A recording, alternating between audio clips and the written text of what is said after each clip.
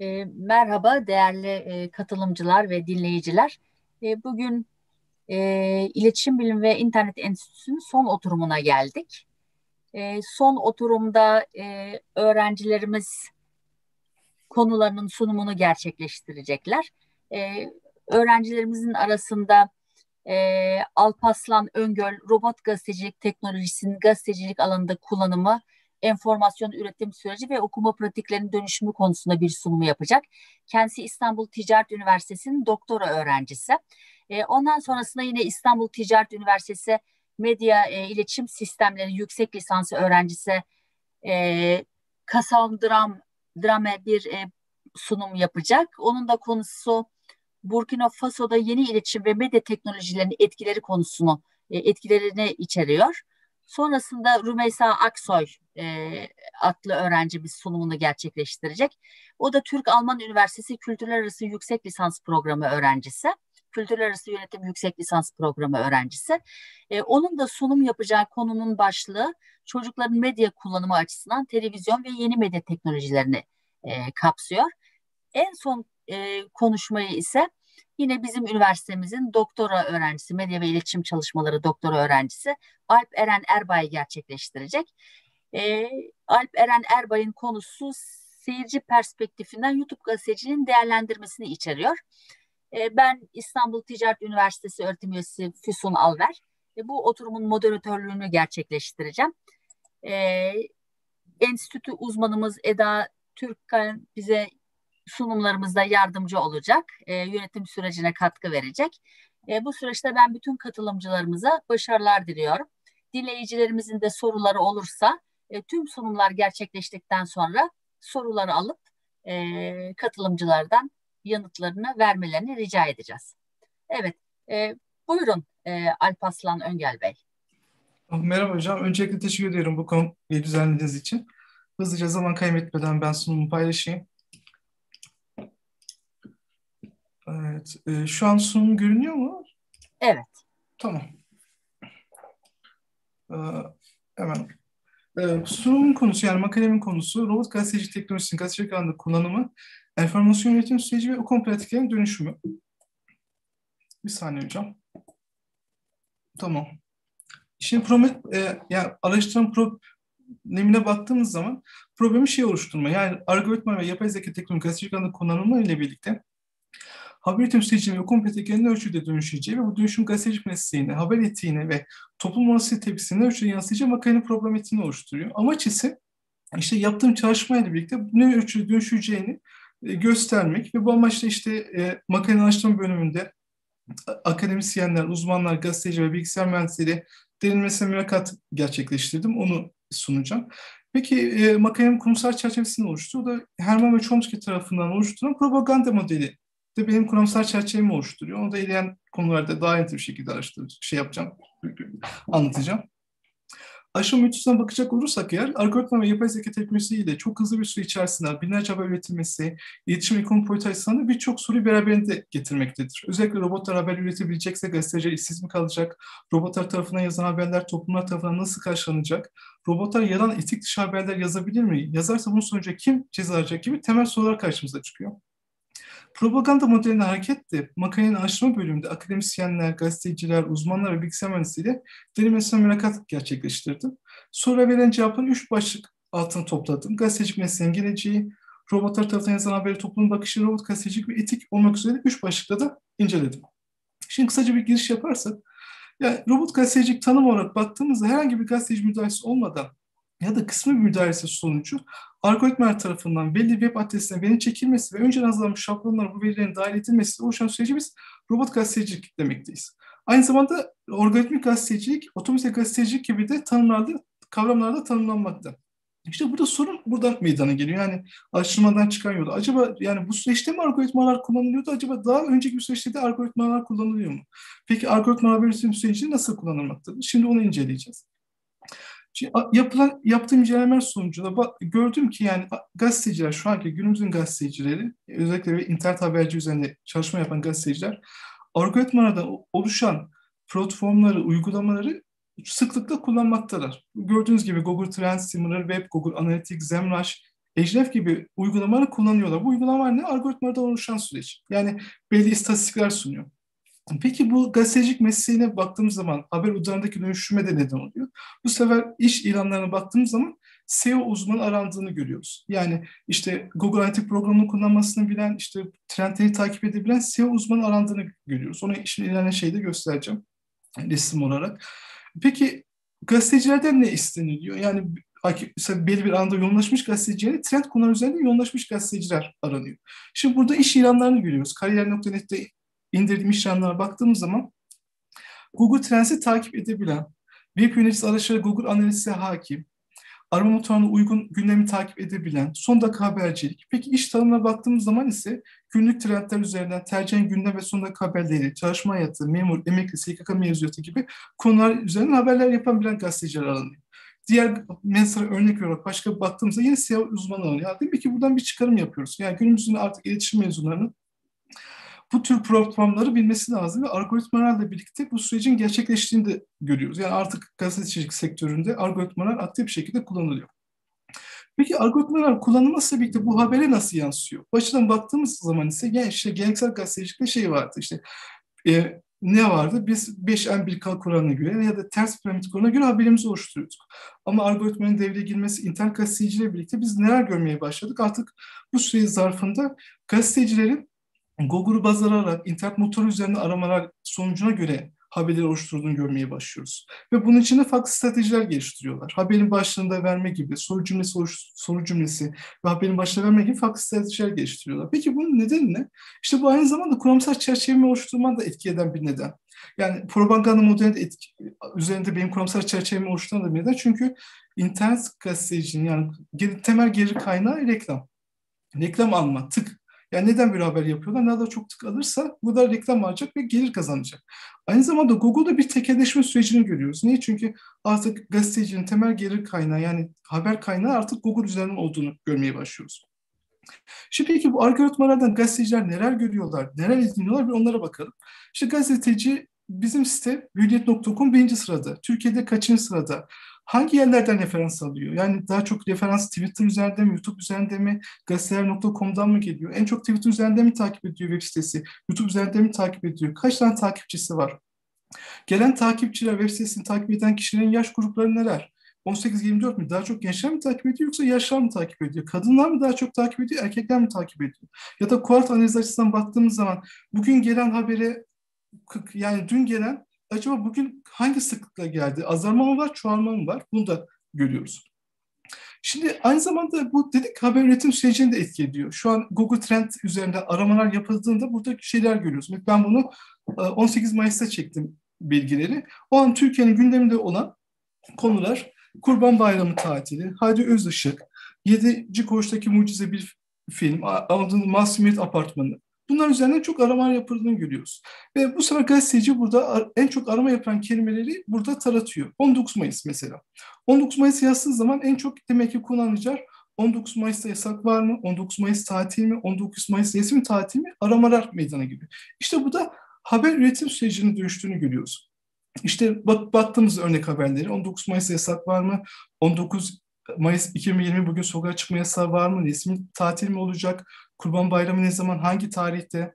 İşte Yenici Koğuş'taki Mucize filmin konusu nedir? Mansur Apartmanı'da Esat öldüğümüzden ayrıldı mı? Cuma mesajları, yeni 2021 kısa öz, ayetli duvarı, cuma mesajları vesaire bir kat, Katoğlu gibi haberlerin olduğunu görmeye başlıyoruz. Yani artık haberlerin trend konular üzerinde üretildiğini görmeye başlıyoruz. Buradaki çıkarım ne oluyor? Demek ki algoritmanla birlikte haber üretim sürecinin dönüştüğünü görüyoruz. Aynı zamanda bu haber okuma pratiklerimize de etki ediyor. Şimdi robot gazeteciliğe gelecek olursak artık algoritmaların yani gazeteci müdahalesi olmadan algoritmalar tarafından haberlerin yazıldığını görüyoruz. Ya da gazetecinin kısmı müdahalesi sonucunda. Peki bunlar nerelerde kullanıyor? Türkiye'de kullanım baktığında Türkiye'de şu araştırdığım kadarıyla Türkiye'de bir kullanım alanı yok robot gazeteci ama algoritmik haber süreçlerinde yani bu e, SEO araçlarını kullanmadı aktif şekilde kullanılıyor ama algoritm yani robot gazeteci kullanılmadığını şu an öğrendim. Pardon hocam.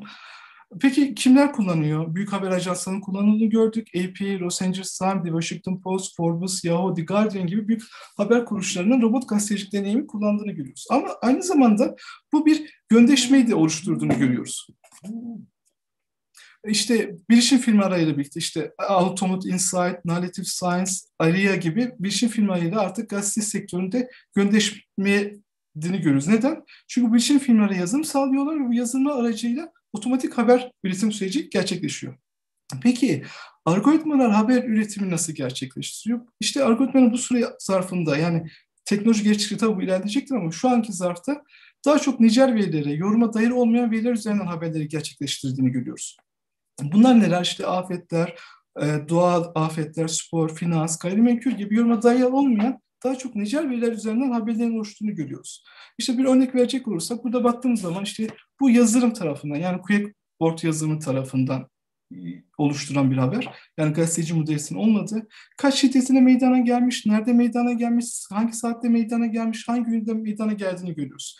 İşte ne var mesela işte pardon ABD Jeoloji Araştırması'na göre Cumartesi günü saat 21.59'da San Jose'de 3 bin uzaklıkta 3.6 büyüklükte bir deprem meydana geldiği bildirildi. Yani nicel verilerin hazırlanmış şablonlara ilave edilmesi bir haber üretim sürecinin dönüştüğünü görmeye başlıyor.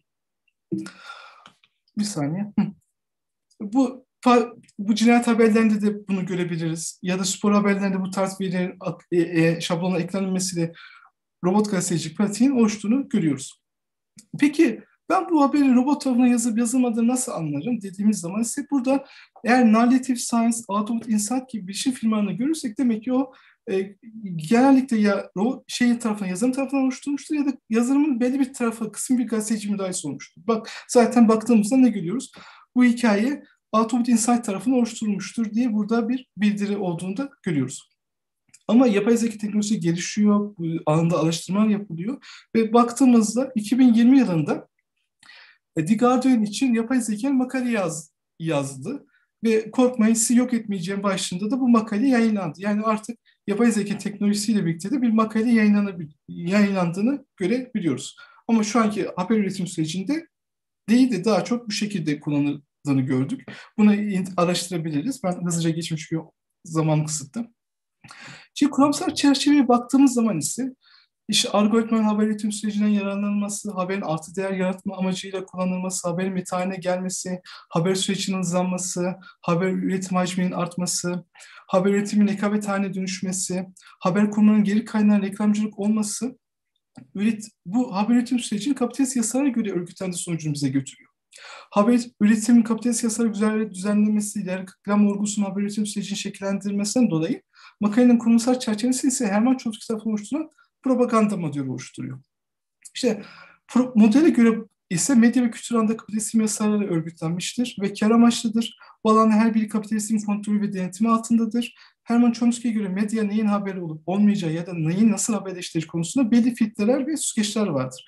Bu filtreler ve süzgeçlerden geçtikten sonra haberler kitlelere ulaştırır. Herman Chomsky'ye göre kitle medyasının büyüklüğü, tekeleşmiş yapısı, Sabi'nin serveti verker yönü bu aslında beş maddeden oluşuyor. Ben iki maddeyi seçtim. E, e, burada yani kitle medyasının temel geri kaynağı reklamcılık olması haber üretim sürecini etkilemektedir. Şu an baktığımızda internet habercilerine baktığımız zaman üretim şekli nasıl dönüştüğünü görüyoruz. Tık alma ve reklam alma üzerinde gerçekleştiğini görüyoruz. İşte burada onu atıf yapıyoruz.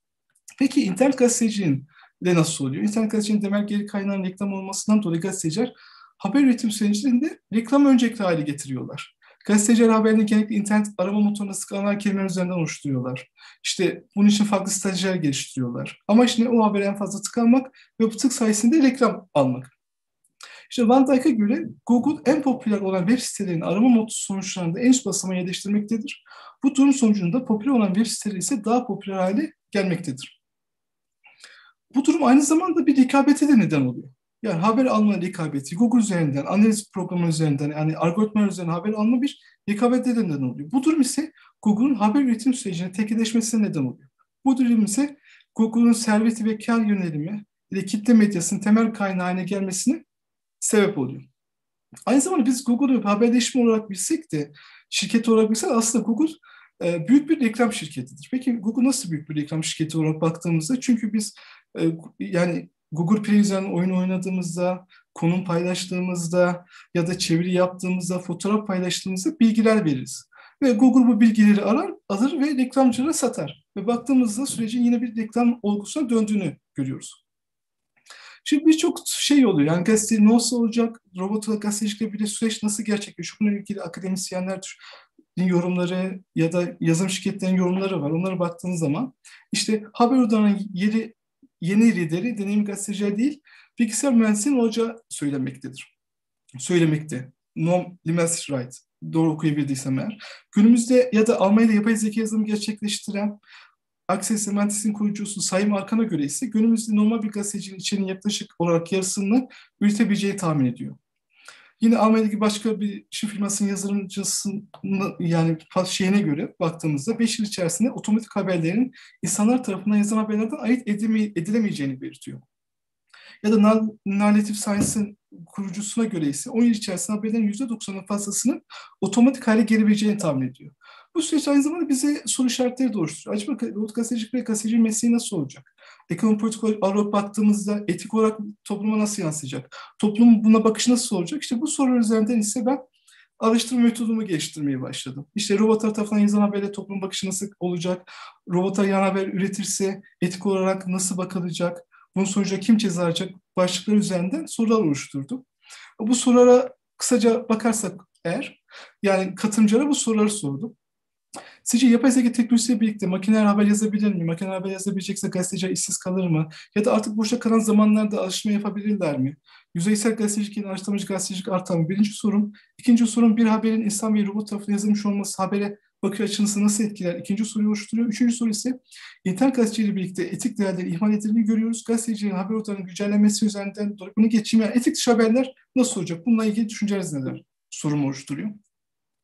Peki kimlerle görüştüm? Bu hocam kamera burada görünüyor mu bilmiyorum ama şey tamam. Doçent, doçent doktor Adnan Veysel Ertemel, İstanbul Üniversitesi İşletme Fakültesi, Alp, Ahmet Alpan Sabancı, Nefis Lab Türkiye editörüyle görüştüm. Bager Akbaş sanatçı eğitmen, aynı zamanda Robot Şahin Deniz Yılmaz yöneticisi, Furkan Özgür, Özgür Dünya Bülteni, Gürol Tuna, Hava Dişler Pazarlama Sunucusu. Burada Ayetçi Hocam Gürol Tuna'yı da teşekkür etmek istiyorum. Çünkü algoritmalara nasıl haber yaptığı ilgili o platformların bana gösterdiği, nasıl olduğuna ilgili bilgiler verdi. Doktor öğretim üyesi Metin Turan, İstanbul Çocuk Üniversitesi Bilgisayar Mühendisliği Bölümü, Muhammed Murat Tutar Bilgisayar Mühendisi, onu görüştüm. Oğuzhan Çal, Anadolu Ajansı. Burada da e, Hamit Kardeş Bey'e teşekkür etmek istiyorum. Çünkü Anadolu Ajansı ile iletişim kurmamı sağladı. İbrahim Can Sabiş Haber 7, İbrahim Can Sabiş TV 24. Burada da e, Orhan Bekçetin Bey'e, doktordan tanıştım Orhan Bekçetin Bey'e teşekkür etmek istiyorum. O iletişimi sağladı. Sümeyye Temur haberler.com. Burada yine doktordan tanıştım. Ee, Cenap Bey'e de, Cenap Coşkun Bey'e teşekkür ediyorum. Çünkü Sümeyye Hanım'la da iletişimi o sağladı. Ee, hocam 15 dakika yeni geçti. Ben kısaca toparlayacağım. Tamam. Hemen, hemen geçiyorum hocam. Gazetecilik mesleğin geleceği sorusu üzerine e, katılımcılar bu cevabı verdiler. Katılımcılar genellikle kısa vadeli gazeteciliğin siz kalmayacağını belirtmişlerdir. Gazetecinin teknolojik gelişmeyi takip etmeleri gerektiğini belirtmiş robot gazetecilik teknolojisi sayesinde araştırmacı gazetecilik yapabileceklerini söylemişlerdir. İşte bunları şey yapmayayım isterseniz hızlıca geçeyim. E, robotlar tarafından yazılan haberi toplumun bakışı nasıl?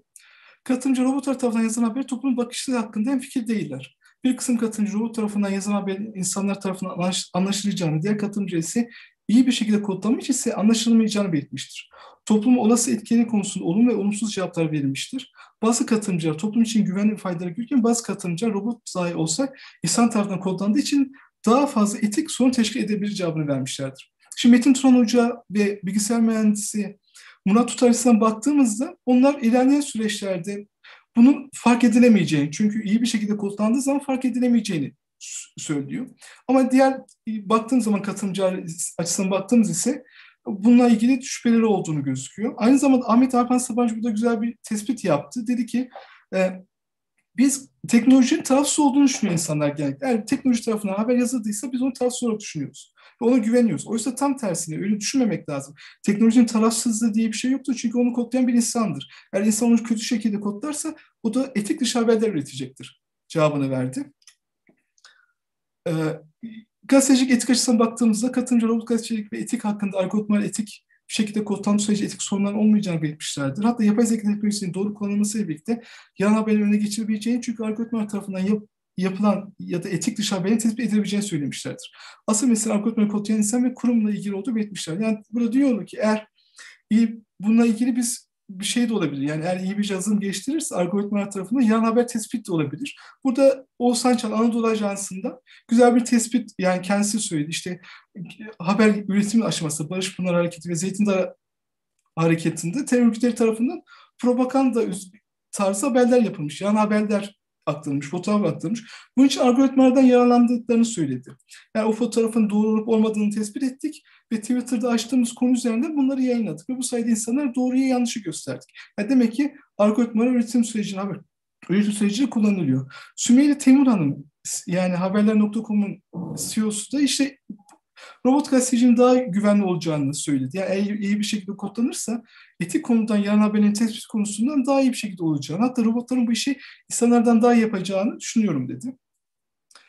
Hocam genel manada haber üretim sürecinin dönüştüğünü görmekteyiz. Haber odalarında dönüşüm sürecinin geçtiğini görmekteyiz. Robot gazetecilik deyimi daha Türkiye'de oluşmadı ama bununla birlikte birçok sorunlar da olduğunu görmekteyiz. İşte bu sorun üzerinden tas çıkarımlarında ilgili cevaplar vermek istedim. Umarım e, uyum şekilde anlatmışımdır. E, beni dinlediğiniz için teşekkür ederim hocam. Var yani. Bu arada hocam sesiniz gelmiyor. Mikrofon kapalı herhalde. Ee, biz çok teşekkür ederiz Alpaslan.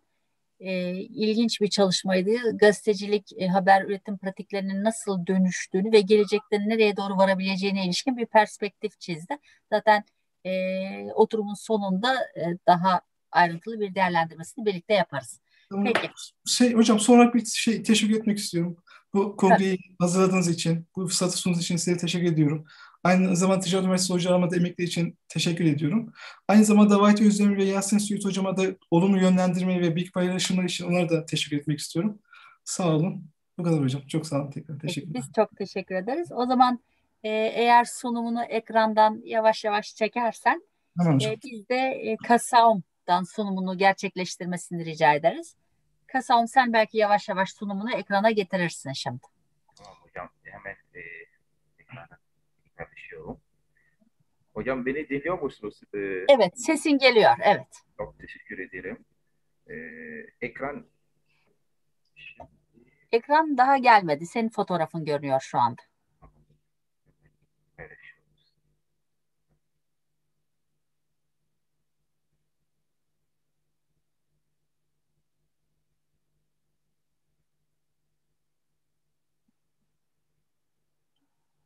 Hocam e, gelmiş mi? Evet geldi. Çok teşekkür ederim.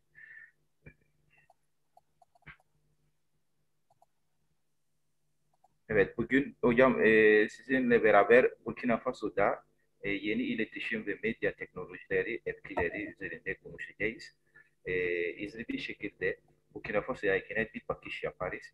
Burkina Faso Afrika'nın bir ülkesi yani Batı Afrika kadrinde 274 e, bin kilometre bir alan e, ve nüfusu 20 milyon civarında şu anda.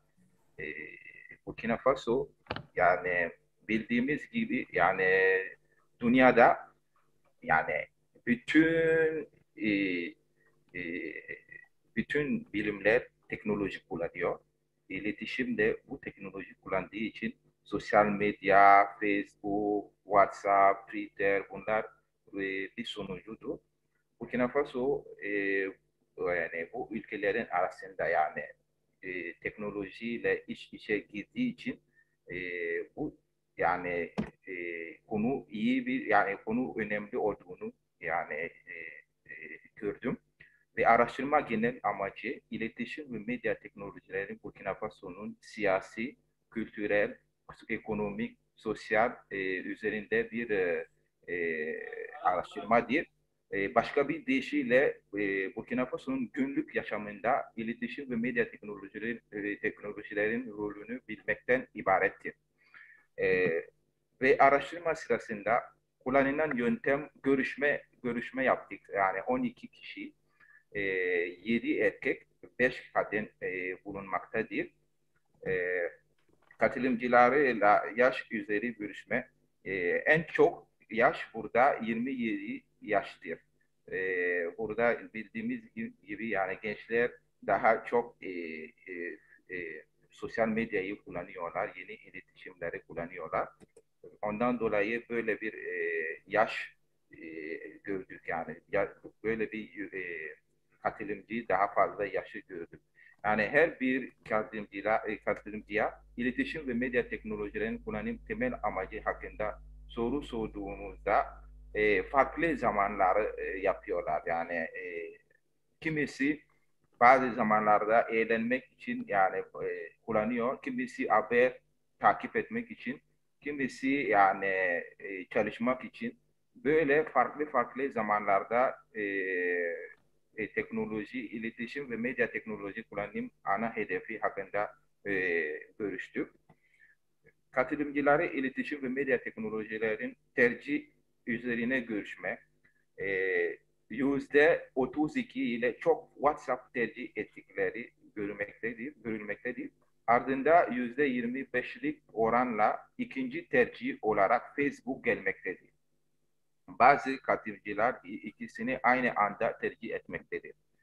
Katılımcılar iletişim ve medya teknolojinin günlük e, kullanım süresi hakkında e, yani en az e, 3 ile 24 saat arasında değil. E, ve e, yani genel olarak e, ya, istatistiklere göre katılımcıları yüzde 40 günün yaşamının e, yarısını ya, e, ya, e, yani 12 saat ve hatta daha fazla süreyle iletişim ve medya teknolojilerini kullandığını kabul et, etmektedir. E, ve yüzde e, 20'si tüm gün yani günde 24 saat kullanmaktadırlar. Bunlar genel olarak e, iş için yapıyorlar, ticari için yapıyorlar. E, ondan dolayı böyle bir e, süre çıkmış. Katılımcılarıyla e, cinsiyet üzerine görüşme, burada erkekler e, daha fazla oldu. Çünkü e, erkekleri daha fazla yani kolay bir şekilde ulaştım e, kadınlara göre. E, katılımcılara eğitim düzeyinde görüşme, e, üniversite olanlar var, lise, araştırmacı, kolej, ilkokul, okul yazarlık e, e, yok ve diğer kalan eğitimleri şey, e, eğitim düzeyinde görüşme yaptı. Ama en çok burada üniversite öğrencilerle daha fazla görüştüm. E, meslek üzerine öğrenciler devlet arşiv, ar, arşivistçisi var, tüccar, ilk, e, ilk öğretim e, öğretmeni, üniversite öğretmeni, pazarlama mühendisi, hevanim, uzman eğitimci ve serigraf, e, serigraf gibi meslek e, e, gördüm. Ve katılımcılara bir televizyon kanalı düzenli olarak takip e, ettiklerini konusunda yüzde 66 e, e, takip ediyor.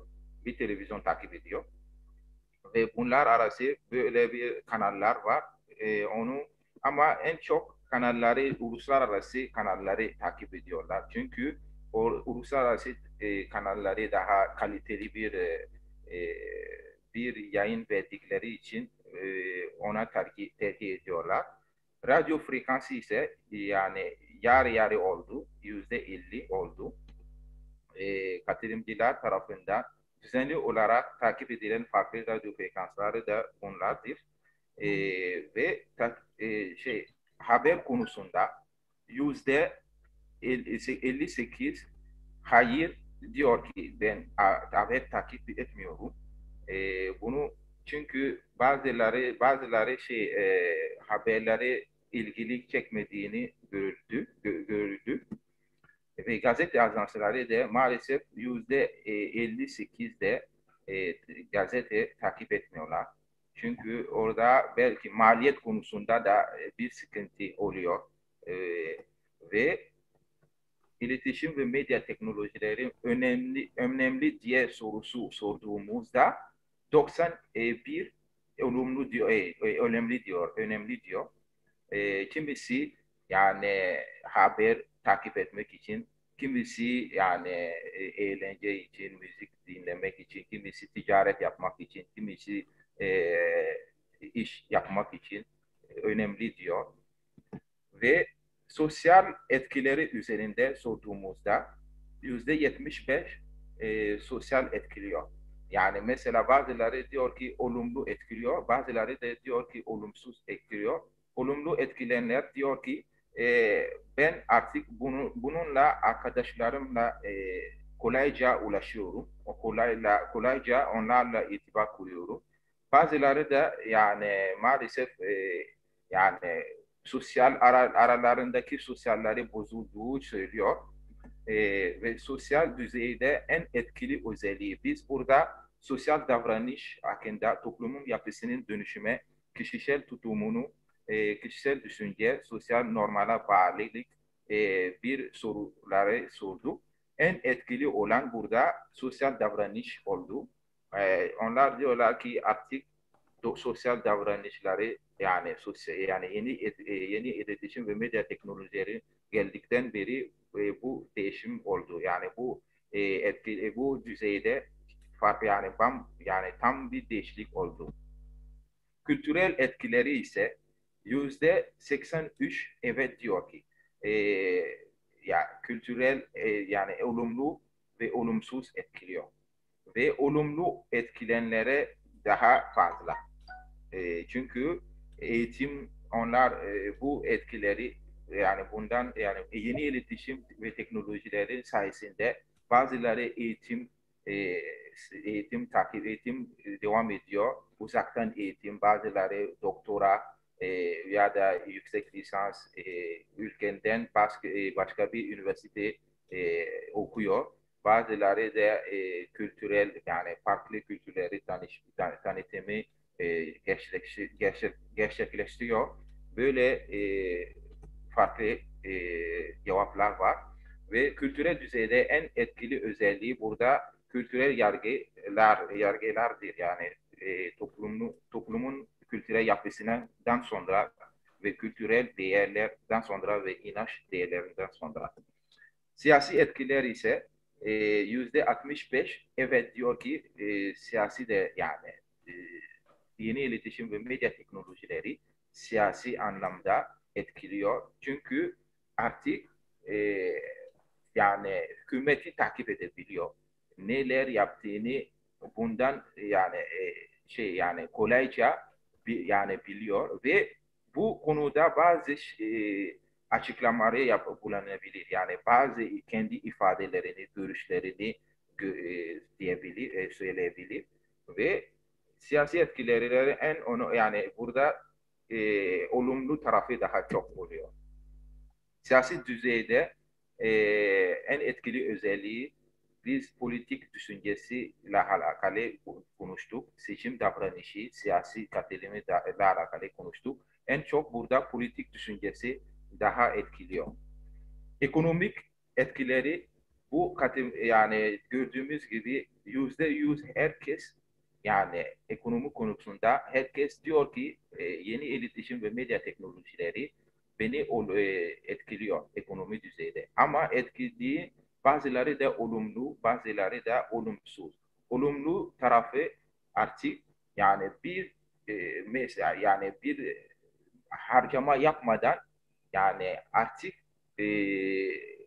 bütün istediklerini e, yani, yanında geliyor. Mesela bir arama yani bir aramaya istiyor yap, yapmak istiyorsa bir kütüphane gitmek zorunda değil. Yani artık Google'la e, arama kolayca yapabilir. Ondan sonra e, bazıları da diyor ki yani evden bile e, yani uzaktan bir ülkeden bir kitap sipariş yapabilir. Öyle olumlu diyenleri var. Olumlu, olumsuz diyenleri de diyor ki yani bu yani en çok diyor ki yani e, burada e, ülkede yeni iletişim ve medya teknolojilerin maliyetleri çok e, pahalı diyor. Ondan dolayı e, olumsuz etkiliyor. Ekonomi düzeyde en etkili özelliği burada tüketim yönelimi oldu. E, bulgular dediğimiz gibi burada en çok e, yüzde yüz e, burada ekonomi düzeyde olmuştu ve WhatsApp e, en çok e, beğendiği e, WhatsApp e, en çok beğendiği yani katılımcıları en çok e, kullandığı e, medya ve iletişim aracı olmuştu. Yüzde 32 e, Facebook ardından geliyor. ve yüzde 40'ı günün yarısı iletişim ve medya teknolojileri ile yani 12 saat ve hatta biraz daha fazla kullandığını kabul etmektedir. E, ve WhatsApp artık bu konuda e, WhatsApp'ın gizliliği politika konusunda insanlar diyor ki böyle e, bir e, yani bu gizliliği konusu kabul etmiyorlar ve bundan dolayı WhatsApp belki daha sonra ileride böyle bir e, sıra kaybedebilir ileride. Yani her Alo, gizliliği Sağ olun. Ee, bir sempozyuma katıldım da ben de sunum yapacağım. İsterseniz o bitince Evet, bulgular burada devam ediyoruz. Değerlendirme için diyor yani burada WhatsApp ve e, yani burada en çok dedi, yani gördüğümüz gibi e, hanımlar daha fazla e, şey e, zaman e, iletişim ve medya teknolojileriyle daha fazla zaman geçiyorlar. Çünkü e, onlar e, hem televizyon kullanıyorlar hem e, telefonları hep sürekli onlar evde oldukları için e, bunlar e, bu yeni yeni iletişim ve medya teknolojileri e, onlarla beraber zaman geçiyor ve bu onlara yardımcı oluyor. Ve artık bildiğim yani bildik ki yani yeni iletişim ve medya teknolojileri geldikten beri insanlar e, televizyon e, gerek televizyon olsun gerek radyo olsun ceplerinde artık nerede olursa olsun yani e, televizyon ve e, ve ve radyola alakalı ve hatta haberle alakalı artık her yerde takip edebiliyorlar. E, şimdi sonuç olarak e, to, yani kısaca iletişim ve medya teknolojileri Burkina Faso toplumun ve kültürün etkilemektedir. E, ve bu etkileri sosyal ve kültürel düzeyine hem olumlu ve hem olumsuz olarak yansımaktadır. Burkina Faso medya ve iletişim teknolojileri sosyal alandaki olumlu etkileri temas, bilgilendirme, bilgi alışverişini kolaylaştırmak, sosyal entegrasyonun kolaylaştırması e, ve toplam e, toplamının kolaylaştırmasıdır. E, halkın mobilizasyonu, sosyal hareketler hareketlere katılım, merak uyandırma, kullanım esnekliği, e, başka ufuklara erişimin kolaylaştırması ve sunulan fırsatlar şekillendir, e, şekillendirilmektedir. Ve e, sosyal alandaki olumsuz etkileri ise bağımlılık, insan ilişkilerin bozulması, bireycilik, e, ahlaksız e, gibi e, sahte haberler, dolandırıcılık, suça teşvik, manipülasyon, sanatçılar arasındaki gerilim şeklinde, şeklindedir. Ee, çalışmanın devamında Burkina Faso'nun medya ve iletişim teknolojileri kültürel etkilerinden söz edilmektedir. Bu anlamda kültürün tanıtım, eğitim kalitesini artırılması, sağlık hizmetlerini iyileştirmesi, eğlence tanıtım gibi olumlu etkileri bulunmaktadır. Kültürel etki açısında olumsuz tarafı ise kültürel değer kaybı ve ahlaksız şekilde bazı noktalar tespit edilmiştir. E, ve öneri olarak burada biz e, yeni iletişim ve medya teknolojileri yani Burkina Faso e, genel bir anlamda reklam avantajı var. Hala bu Burkina Faso'da reklam yani yeni iletişim ve medya teknolojileri reklam konusunda zayıftır ve hükümeti bunu e, iyi bir şekilde değerlendirirse daha iyi bir e, yerlere ulaşacak, ulaşacak e, umarız. Yeni iletişim ve medya teknolojileri e, sübvansiyonu da yapması lazım. Orada e, cihazlar pahalı, e, e, yani internet bağlanmak için insanlar e, bütün e, maaşları e, kullanıyorlar ve o konu, konuda yani hükümet bunu yani şey tekrar bakması lazım. İletişim ve medya teknolojisi e, gelişmiş ülkelerle yapılan işbirliği yapması e, tıpkı Türkiye gibi daha fazla e, bu konuda daha gelişmiş. Yani, yani Burkina Faso hükümeti bu, e, Türkiye ile beraber bu böyle bir e, iş e, ortak işler yaparsa e, ülke ülke için güzel e, güzeldir e, güzeldir ve e, gençlerle işbirliği yapması lazım artık paneller yani e, gençleri neyle e, bu konuda neyi paylaşmalı neyi paylaşmamalı e, tav tavsiye olarak paneller e, sürekli yani düzenlemek lazım ve okullarda bile ilk okullarda bile yani yeni iletişim ve medya teknolojilerin etkileri olumsuz e, olumsuz tarafı öğrencilere e, çocuktan beri bunları anlatması lazım ki yani daha ileride bu iletişim ve teknoloji teknolojileri bir e, sıkıntı ülkede bir sıkıntı olmasın diye e, şeyler e, e, paneller organizasyon e, organ, organ, e, organizasyonu yapması lazım ve nüfusun yeni iletişim ve medya teknolojilerin kullanım hakkında bilinç, bilinç, e, bilinçlendirilmesi lazım. Ve te, e, telefon operatörleri arasında rekabeti teşvik etmek için uygun koşulları e, yaratılması e, ve yoksullukla e, mücadele lazım. E, Burkina Faso bildiğimiz gibi yani gelişmede olan bir ülke hala yemek içme konusunda bazı sıkıntılar yaşıyor ve bunu yani bu yeni iletişim ve medya teknolojileri elde elde etmek istiyorsa bu konuları tekrar bakması lazım. E, hocam ben yani sunumun e, sonundayım. E, dinlediğiniz için e, çok çok teşekkür ederim. Umarım zamanım zaman zamanı e, çok fazla almadım hocam. E, biz çok teşekkür ederiz. Evet. Burkina Faso e, bizim e, geleneksel ve yeni iletişim medya teknolojilerinin kullanımı açısından Evet. e, ülkemizde pek bilginin olmadığı bir ülke. Evet. Dolayısıyla biraz sonra e, oturumun sonunda daha ayrıntılı değerlendirmesini yapacağız ama e, sunduğun bu bilgiler için e, biz teşekkür ediyoruz bize. Ben teşekkür ederim hocam. Kapsamlı ve genel bir bakış açısı sundun bu çalışmanla. Sağ ol. Çok teşekkür ederim. Tamam. E, o zaman istersen ekrandan yavaş yavaş e, zaten çektin. Şimdi o zaman Rümeysa Aksoy'u dinleyeceğiz. O da çocukların medya kullanımının açısından televizyon ve yeni e, televizyonu ve yeni medya teknolojilerine e, irdelediği çalışmasını bize anlatacak. Evet, Teşekkür ederim. sen dinliyoruz. Sağ olun. Önce ekranı paylaşayım izninizle.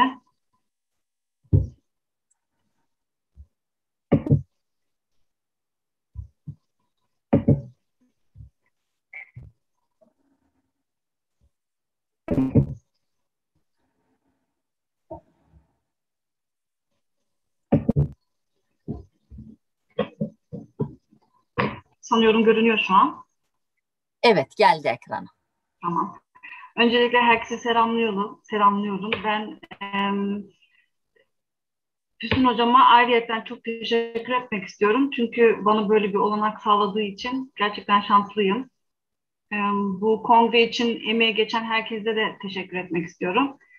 Bizden önce katılımcıların sunumunda em, emeği çok olduklarını düşünüyorum. Bunun için de ayrıyeten bir teşekkür borçluyuz. Benden sonra yapacak olan arkadaş, arkadaşıma da ayrı, e, başarılar diliyorum sunumunda. E, ismim Rümeysa Aksoy. Daha önce hocam da bahsettiği gibi Türk-Alman Üniversitesi'nde e, yüksek lisans programı kültürler arası yönetim öğrencisiyim. Son senem tez aşamasındayım. Benim tezim e, diğer arkadaşlarınki gibi daha sonuca ulaşmadı. Yani benim sunabileceğim bulgularım yok. Yalnız e, sunumun sonunda nelerle karş- karşılaşabileceğimi veya neyi umduğumu, neyle karşılaşmam gerektiğini birazcık analiz etmek istiyorum. İzninizle başlayayım. Öncelikle bu istatistikle başlamak istiyorum. Ee, bu istatistik daha çok yetişkinlerle alakalı bir durum ama bunu göstermemin bir sebebi var. Bunu da ilerleyen e, zamanda açıklayacağım. Burada gördüğünüz gibi cihaz kullanımını gösteriyor. En çok kullanılan cihaz toplumumuzda yani Türkiye'de %99 oranla televizyonu gösteriyor.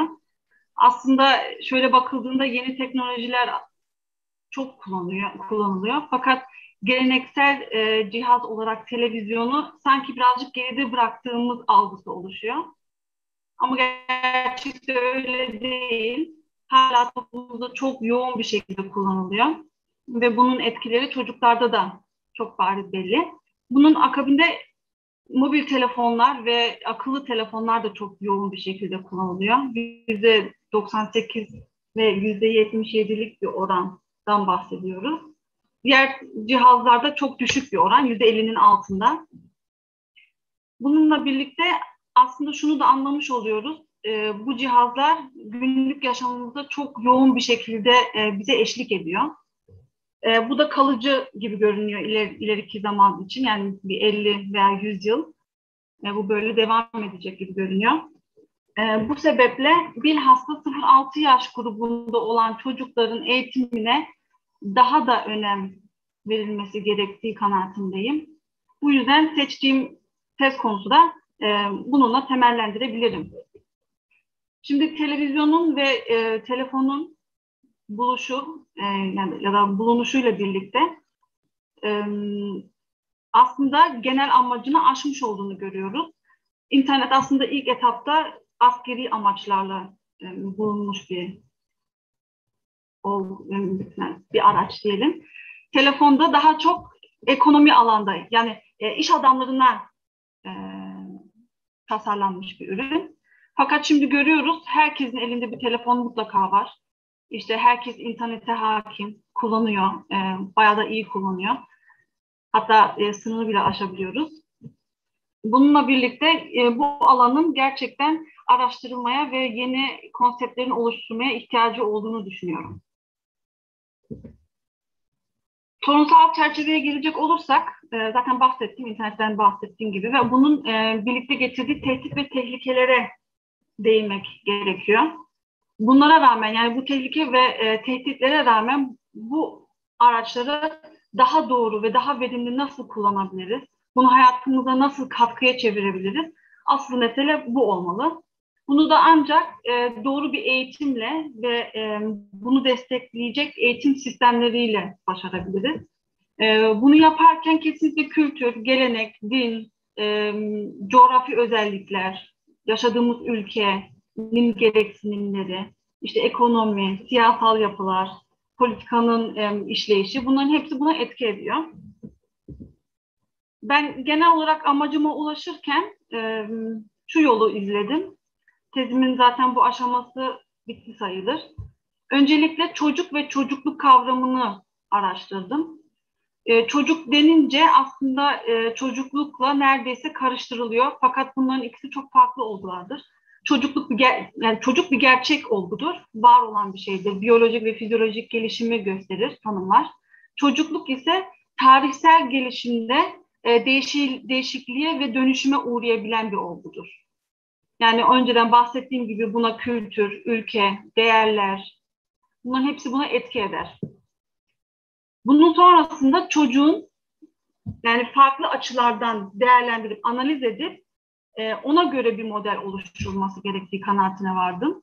Hatta araştırırken bunun ne kadar önemli olduğunu da daha iyi anladım. Çocuğun örneğin biyolojik ve fizyolojik özelliklerini bilmediğimiz zaman hatta bunlara nelerin etki ettiğini e, doğru araştırılmadığı zaman doğru bir konsept veya bir medya e, okur yazarlığı oluşturamayız.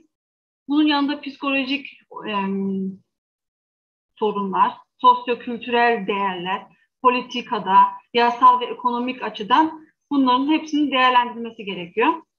Ancak bunlar doğru değerlendirildiği zaman medya okur yazarlığını daha verimli bir hale getirebiliriz. Buna da ek olarak ebeveynleri muhakkak e, işin içine almak gerekiyor. Yani çoğunlukla e, bu olaya bakıldığında sadece çocukların e, sanki bu medya yetkinliğine ihtiyacı varmış gibi bir olgu oluşuyor. Fakat algı oluşuyor. Fakat e, daha çok ebeveynlerden yola çıkarak bu işi bu işi ele almak gerekiyor. Yani bir e, çocuğun 0-6 yaş grubunda olan bir çocuğun e, bir yetkinliğe sahip olmasının farkında olması imkanı yok. E, bu sebeple bunu ebeveynlerin ve eğiticilerin ele alması gerekiyor. Bu araştırmanın sonunda bir model oluşturmayı düşünüyorum. Hmm, eğer gerçekten her şey istediğim gibi ilerlerse e, ve derinlemesine yaptığım görüşmeler sonucunda da istediğim ya da hayal ettiğim değerler de bununla örtüşürse bir model taslağı oluşturmak istiyorum. Bunları yaparken teo- teori, teorik çerçevemi iki kuram üzerine e, oturtturdum. Birinci kuram psikolojik teoride Piaget'in yani ünlü Fransız e, biyologun e, oluşturduğu bir kuram. Bunda daha çok gözlem üzerinde ilerleme var. Onu görebiliyoruz. Ve teo, kuramını iki, e, dört gelişim aşamaları, aşamalarına bölmüş durumda. Birincisi duysal motor dönemi. Bu 0-2 yaş grubuna tekabül eder. Yani bebeklik dönemine. İşlem öncesi dönemde e, 2 ila 7 yaş arası civarında olur. Bu da anaokulu ve okul öncesi dönemine denk geliyor. Diğer iki aşama sonrasında gelecek olan aşama yani 7 yaş ve 15 yaşa kadar olan dönem benim tezimi kapsamıyor. Yani e, tezimde sadece o iki aşamayı işledim. Daha doğrusu fokusu e, işlem öncesi döneme koydum. Çünkü bu yaş sınırlaması yani 2 ila 7 yaşta bulunan çocuklar, çocukların özellikleri benim test çalışmama daha uygun düşüyor. Bunlar da nedir? Çocukları e, gözlemleyerek e, taklit ettikleri kanaatine varıyor Piaget. Bu da ne demek oluyor? Yani ebeveynler kendilerini ne derecede geçiştirirlerse çocukları da o yönde yönelir. Yani çünkü onları rol model olarak gördüklerinden dolayı onlar ilk etapta onlara çok büyük ölçüde etki ediyor. İkinci unsur olarak da çocuk ben merkezci bir düşünceye sahiptir o dönemde. Yani e, çevresinde olacak olan e, işte tehlikeyi veya e, avantajları kendi dünyasını nasıl görüyorsa ancak o kadar algılayabilir. Bir büyük bir yetişkin kadar sağlıklı düşün, düşünmeyi bekleyemez, bekleyemez bir yetişkin insan. O yüzden onun bakış açısını göz önünde bulundurarak bazı değerlendirmeleri ve e, yetkinlik yönetmelikleri oluşturmak gerekiyor. Bir ikinci kuramda e, Dieter Bakin'in kuramıdır. Alman bir pedagogtur kendisi. Onun kuramı daha çok medya yetkinliği üzerinde e, duruyor. O kendi e, açısından medya yetkinliğini dört aşamaya bölmüş. Birincisi medya eleştirisi, ikincisi medya çalışmaları, üçüncüsü medya kullanımı, en sonuncusu da medya tasarımıdır. Yani bunlara bölmesinin sebebi de e, şu düşünceyi sav savunuyor kendisi. Medyayı iyi kullanabilmek için ilk etapta bunu yani bir eleştirel bir yaklaşımla ele almak gerekiyor. Yani bir olguyu veya bir e, aracı eleştir, eleştirmeden onun faydalarını ve zararlarını tartamazsınız diyor. Medya çalışmalarında da e, bunu daha çok e, hani ne kadar iyi ele alınırsa ya da bu çalışmaları ne kadar yoğun bir şekilde e, işlenirse bir toplumda ancak o kadar yani, sağlıklı bilgiye ulaşılabilir. Medya kullanımında da e, bireyin medya iletişiminde etkin olarak yer almasını öngörüyor. Yani amaçlanmakta olan e, medyanın yararlılıklarını nasıl elde edebiliriz? Tasarımda da bu araçları nerede, nasıl, hangisini nerede kullanılması gerektiğini işliyor. Bir başka e, konuya daha vurgu veriyor Bake. Bireysellik ve bireyselleştirmeye yönelik bazı e, konuları işliyor. Bunda da şöyle bir sorun var. Genelde zaten e, bilhassa şimdi pandemiyle birlikte daha da yoğun olmaya başladı. E, bireysellikle bireyselleşmenin arasındaki fark şudur. Bireysellik insanın özelliklerinin toplamını temsil eder. Bireyselleşmek de e, yani toplumdan kendini sıyırarak sadece kendine odaklı bir yaşam tarzını temsil eder. Buna vurgu yapıyor özellikle ve eylem yönelimi yönelimini e, önemli buluyor. Bunda da e, şöyle bir bakış açısı var. Yani medyanın insan üzerindeki etkilerini değil de insanın medyayı nasıl kullandığını ve ona nasıl etki ettiğini vurguluyor. Yani ona daha çok önem verilmesi gerektiğini anlatıyor. Peki medya yetkinliği nedir veya okur yazarlığı? Yani bu ölçüde e, nelere dikkat edilmesi gerekiyor? Bunlar da şöyle anlatılıyor. Mecraları daha verimli kullanmak için bu okur yazarlığı edinmek çok önemli. Riskler karşısında farkındalık geliştirebilmek, bu da yetkinliğe yani, e, katkıda bulunuyor. Medya iletileri ve yönetimleri konusunda bilgi sahibi olmak. Yani e, bilhassa e, şunu ben öngörüyorum. Sosyodemokratik özelliklere bakarak bazı kesimlerinin belki erişimden dolayı, belki imkanları el vermediğinden dolayı veya ilgi duymadığından dolayı e, medya ile ilgili ön yargıları var ve bu ön yargıları kırmadan veya kıracak bir girişimde bulunmadan medyanın kötü bir şey olduğu kanaatine varabiliyorlar ve dolayısıyla e, hiçbir zaman onun yararlarını veya onu daha yararlı hale getirebilmenin yollarını araştırmıyorlar. Bunlarla da karşılaşabileceğimi düşünüyorum. Bununla birlikte e, öncesinde bahsettiğim çocuğun özellikleri veya o farklı çerçevede araştırılması gerektiğinin e, bir sebebi de bu medya yetkinliğini ancak bunları da göz önünde bulundurarak ortaya çıkarabileceğimizi e, düşünüyorum. Bunu da zaten e, bu eğitimde 8 anahtar beceri diye adlandırdıkları becerilerde gösteriyor. Örnek veriyorum okur yazar olabilme becerileri. Yani okur yazar olmak sadece bir şeyi okumak ya da e, alfabeyi bilmek, bir metni okuyup da onu anlamak değil. Gerçekten bir aracı kullanırken e, faydalarını ve zararlarını e, doğru analiz etmekte bunun için, içine giriyor. İletişim becerileri, bunlar da çok önemli. Bunları da ancak e, çocuğu doğru eğittiğiniz zaman veya işte o 0-6 yaş zaman diliminin de e, çocuklara verdiğiniz emek, e, onu eğitim, eğitim için e, yönlendirdiğiniz yöntemler belirliyor. Ekip çalışması becerileri, yaratıcı olma, e, bilgi ve düşünce yönetimi becerileri, fiziksel ve psikolojik o, olumlu e, olumlu bir tane şeyde fiziksel ve psikolojik olumlu girişimlerde bulunması ve en önemlisi de öz yönetimi yani kendi yönetim becerilerini geliştirmesi. Bununla birlikte metodumu böyle oluşturdum. Hedef kitlemi e, bahsettiğim gibi 0 e, 3 ile 6 yaş grubuna e, belirledim. Medyaları televizyon, bilgisayar, e, bilgisayar oyunları, laptop, iPad, telefon bunları almak istedim metodun içerisinde. Örneklem boyutunda şu anlık 8 ila 10 ebeveyn ve çocuk ikisi olarak belirledim. Fakat bu değişebilir. Yani altının veya sekizinin altına düşeceğini düşünmüyorum. Fakat ondan daha fazla da olabilir. Bu bir nitel araştırma yöntemidir. Yani derinlemesine bir görüşme öngörüyorum.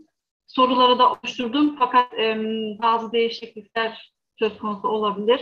Bayağı kapsamlı bir e, görüşme. Yani yarım saatlik bir görüşmenin altına geçmeyeceğini düşünüyorum. Araştırma alanı olarak da Türkiye İstanbul'u seçtim. İstanbul'u seçmemin sebebi de e, çok hani sosyodemokratik demografik özellikleri yani çok çok farklı boyutlarda kendinde barındırdığını düşündüğüm için aldım. E, burada o farkları işte daha zengin veya daha fakir e, ya da e, erişim sağlayıp sağlayamayan insanları daha iyi e, bulabileceğimi düşündüm. Bununla birlikte bu çalışmanın sonunda cevabını aradığım sorular şunlardır. Geleneksel medya yani televizyon, yeni dijital medyanın kullanım davranışı çocuğun sosyodemografik özelliklerinden etkileniyor mu? Yani bu, bu, ne derecede etki ediyor? Okul öncesi çağındaki çocuklar için televizyon ve dijital medyanın bilinçli kullanımı ile alakalı etkili yol gösterici faktörler var mı? Ve sonuncusu olarak da medya okul yazarlığı çocukların sosyalleşmesini ne ölçüde etkiliyor? Şimdi pandemi sebebiyle zaten çoğu şeyler internet üzerinden yürüdüğü için bu çocuklar da bundan nasibini alıyor. Ve sosyalleşme gibi bir kavramın e, çok derin bir dönüşüme uğradığını da görüyoruz. Bunun ileriki zamanlarda daha da büyük boyutlarda olabileceği yani aşikar. Olur veya olmaz onu zaman gösterecek.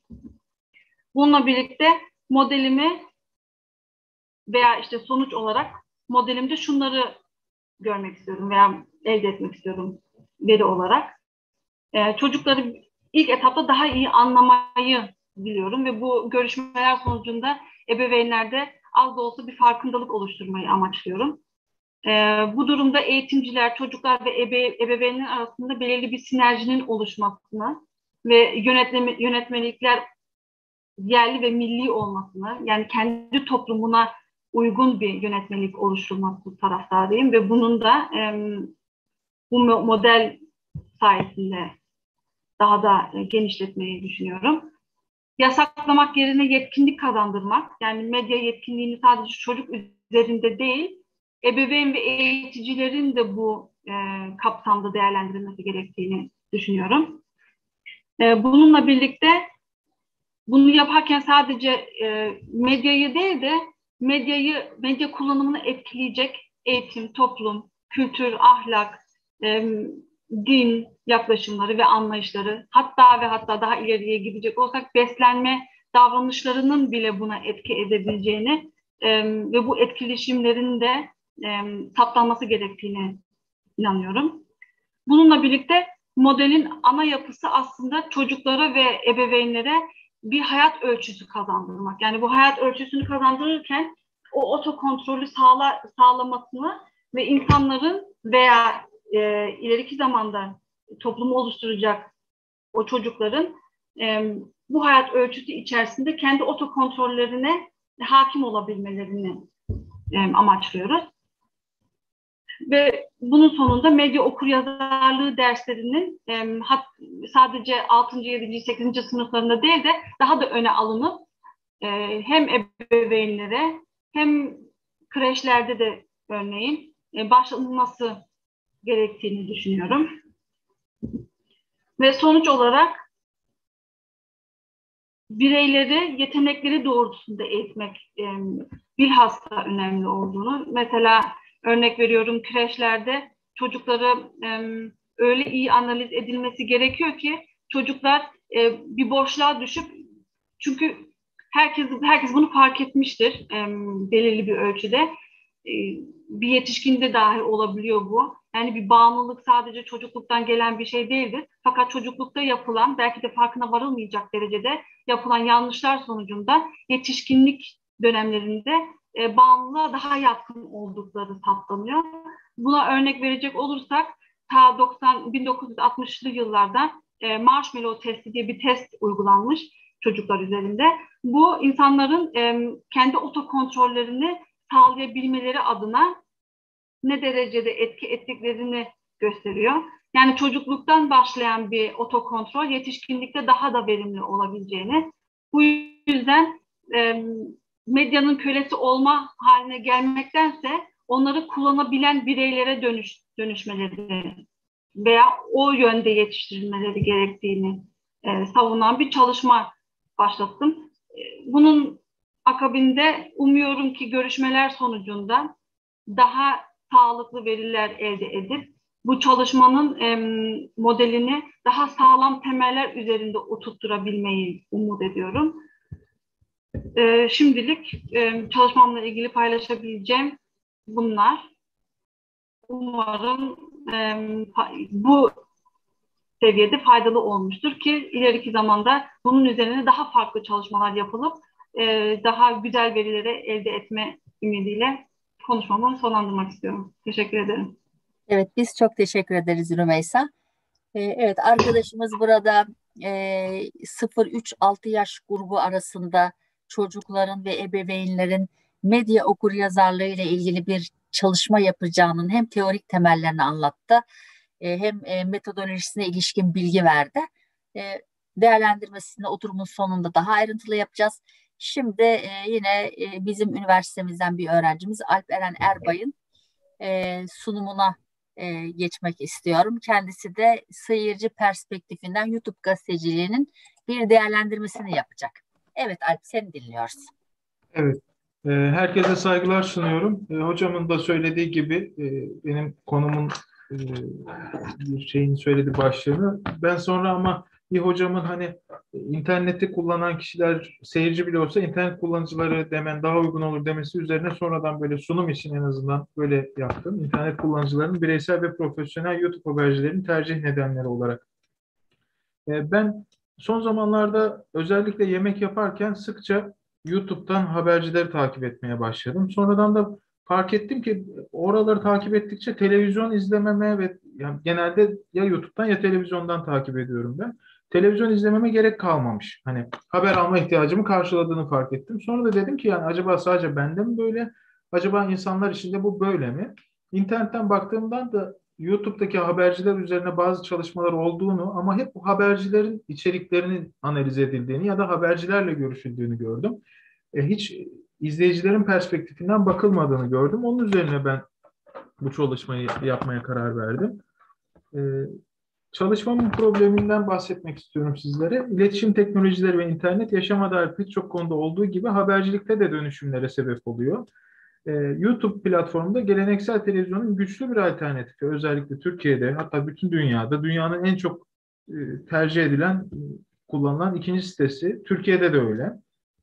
E, YouTube habercilerinin perspektifinden baktığımız zaman YouTube haberciliğinin önemi ortada. Onlara yeni medyanın işlevsel özelliklerini sunuyor. Daha özgür bir ortam sunuyor ve kuruma bağlı olmadan e, kişilere, kitlelere seslenebilme imkanı veriyor. Ben YouTube haberciliğinin bu sermayeleşmiş, devleşmiş, tekelleşmiş ana akımdaki televizyon haberciliğine karşı daha demokratik bir alternatif oluşturduğunu düşünüyorum.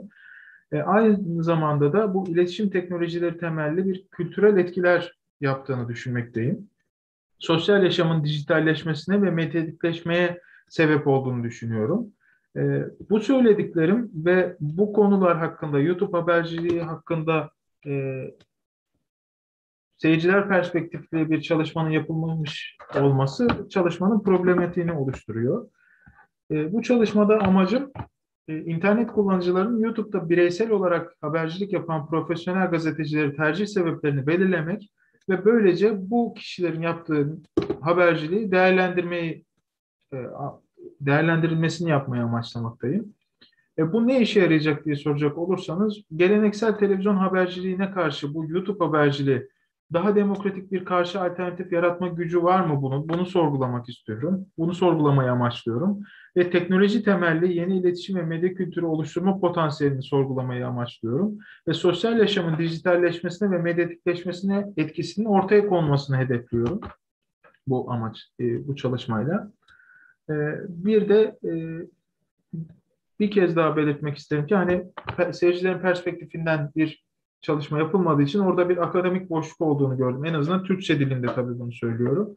Ee, orada da o boşluğu dolduracağı için önem taşıdığını düşünmekteyim. Kavramsal çerçevesinden bahsetmek isterim size. Ee, bu internet kullanıcılarının bireysel ve mesleği gazetecilik olan YouTube haberciliğini takip etme sebeplerinin temelinde iletişimsel ve sosyal pratiklerin değişimi olduğunu düşünüyorum ben. Bu değişime sebep olansa iletişim ve medya alanındaki teknolojiler.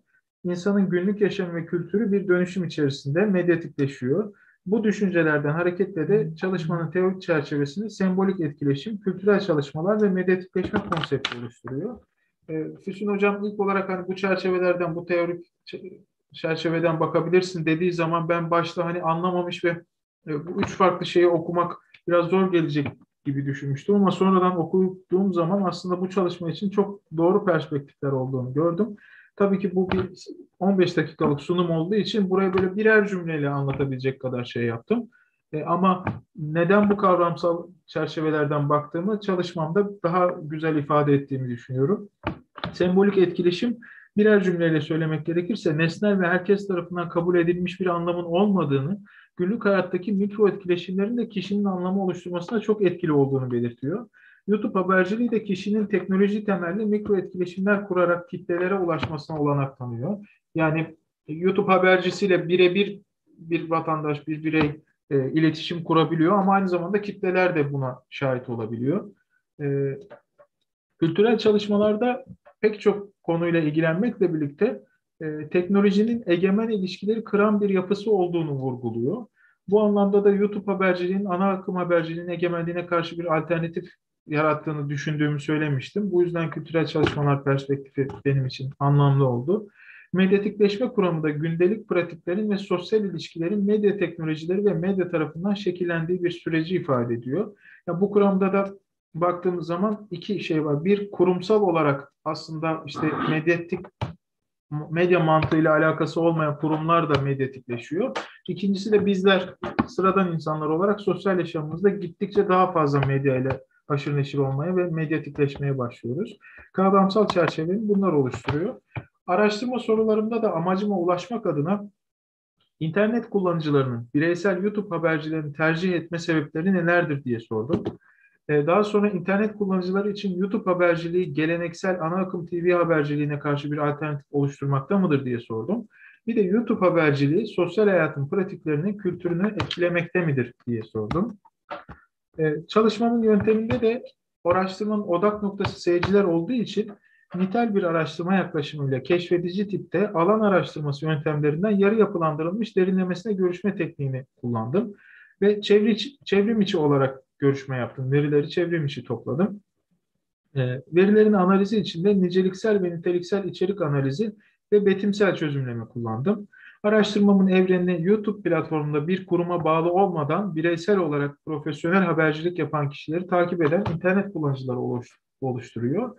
E, araştırma örnekleminde 8 kişi bu YouTube habercilerini takip eden ve farklı demografik özelliklerden 8 seyirciyi örneklem olarak aldım. Örneklememi de örneklemimi de olasılığa dayalı olmayan örnekleme teknikleri içerisinden amaçsal örnek, örneklemeyle seçtim. Ee, bu görüşme yapılacak 8 kişiyle Zoom ya da WhatsApp programları aracıyla 30 ila 40 dakikalık bir görüntülü konuşma gerçekleştirdim. Bu 8 kişinin 6'sı ses kaydı alınmasına izin verdi. İkisi de not tutarak e, benim görüşlerini kaydetmemi istedi. E, daha sonra verileri topladıktan sonra ben bir Excel tablosu oluşturdum. Bu tabloda tüm soruları yazdım ve katılımcıların bu soruya verdiği yanıtları tek kelimeye ya da bir cümleye özetlemeye çalıştım ve bir kodlama oluşturdum.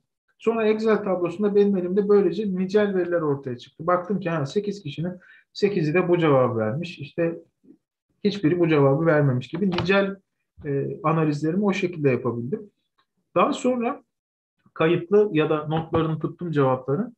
E, kişilerin sorulara verdiği cevapları eğer sadece kısa değilse ve anlamlı kayda değer şeyler söyledilerse Onları da ayrıca bir Word dosyasına deşifre ettim birebir. Böylece de nitel verileri ortaya çıkarttım. Ee, birazdan araştırma sonuçlarından bahsedeceğim ama varsayımlar ve sınırlıklardan da bahsetmek istiyorum.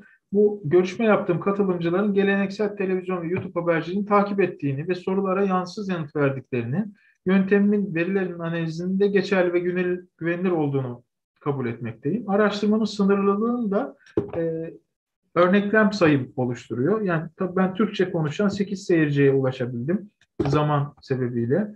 E, ama bu çalışmanın örnekleminin arttırılması e, ve belki derinleme derinlemesine görüşmenin yanı sıra belki bir daha geniş kapsamlı bir anket çalışmasının yapılması da ek olarak e, araştırmanın sonuçlarının genellenilebilirliğini arttıracaktır, kuvvetlendirecektir diye düşünüyorum. E, şu an çok küçük görüyorsunuzdur ama şöyle yaklaştırdığım zaman belki biraz incelemek istersiniz. Sorduğum soruları da ben çalışmamın tam metnine e, ek olarak koydum en sonuna. E, farklı kategorilere ayırdım.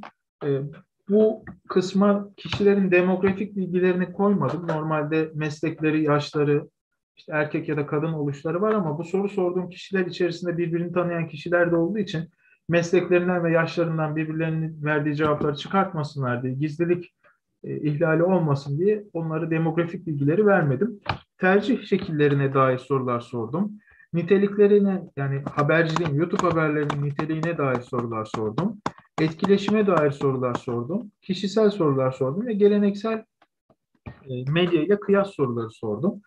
E, tamamını sayıp sizlerin vaktini almak istemem ama en çok mesela e, İlk olarak ben gündemi nereden takip ettiklerini sordum ve bir sıralama yapmalarını yani YouTube habercilerin bu sıralamada ne kadar yer kapladığını e, sormak istedim. E, düzenli olarak takip et, etmediklerini, kimlere abone olduklarını, kimlere abone olmadan seyrettiklerini, işte YouTube'un bazı özellikleri var. Daha doğrusu yeni medyanın istediğimiz yerde, istediğimiz şekilde izleyebilme, işte ileri geri oynatma, sarma, e, ileri geri sarma, hızı ile oynama gibi işlevsel özelliklerden faydalanıp faydalanmadıklarını sordum. YouTube habercisinin bir kuruma bağlı olup olmamasını onları nasıl etkilediğini sordum. YouTube habercilerini daha özgür ya da daha demokratik buluyorlar mı, daha cesur buluyorlar mı diye sordum. E, ileride YouTube haberciliğini nasıl görüyorlar diye sordum. E, ve başka sorularım da var. Toplamda 28 tane soru sordum. Bu kodlanmış halleri. Onlar tabii ki sadece evet diye cevap vermedi ama ben onları öyle özetlemeye çalıştım. Tek kodlamaya çalıştım. Dileyen olursa hem araştırmamın tam metnini hem de o az önce gördüğünüz e, kısmı sizlerle paylaşabilirim. Üç tane araştırma sorum vardı ve daha ayrıntılı tabii ki sonuçlarımı açıkladım ama üç araştırma sorumun cevabını çalışmamın üç ana sonucu olarak sizlerle paylaşmak isterim. Öncelikle internet kullanıcılarının bireysel ve profesyonel YouTube habercilerini tercih etme sebeplerinin başında bu kişiler bir kuruma bağlı olmadığı için bu gazeteciler bunları daha özgür buluyorlar, daha cesur ve daha tarafsız olduğunu düşünüyorlar. Birinci sebep buymuş. Diğer tercih sebebi de istedikleri zamanda ve yerde istedikleri gibi ileri geri oynatım yapıp hızlandırabilme imkanıymış. Daha sonraki sebeplerde reklamsız ya da az reklamlı içeriklerin olması ve televizyonda bulamadıkları kişileri YouTube'da bulabilmeleri ve izledikleri videoları da kolayca paylaşabilme e, özelliği tercih sebepleri arasında yer alıyor.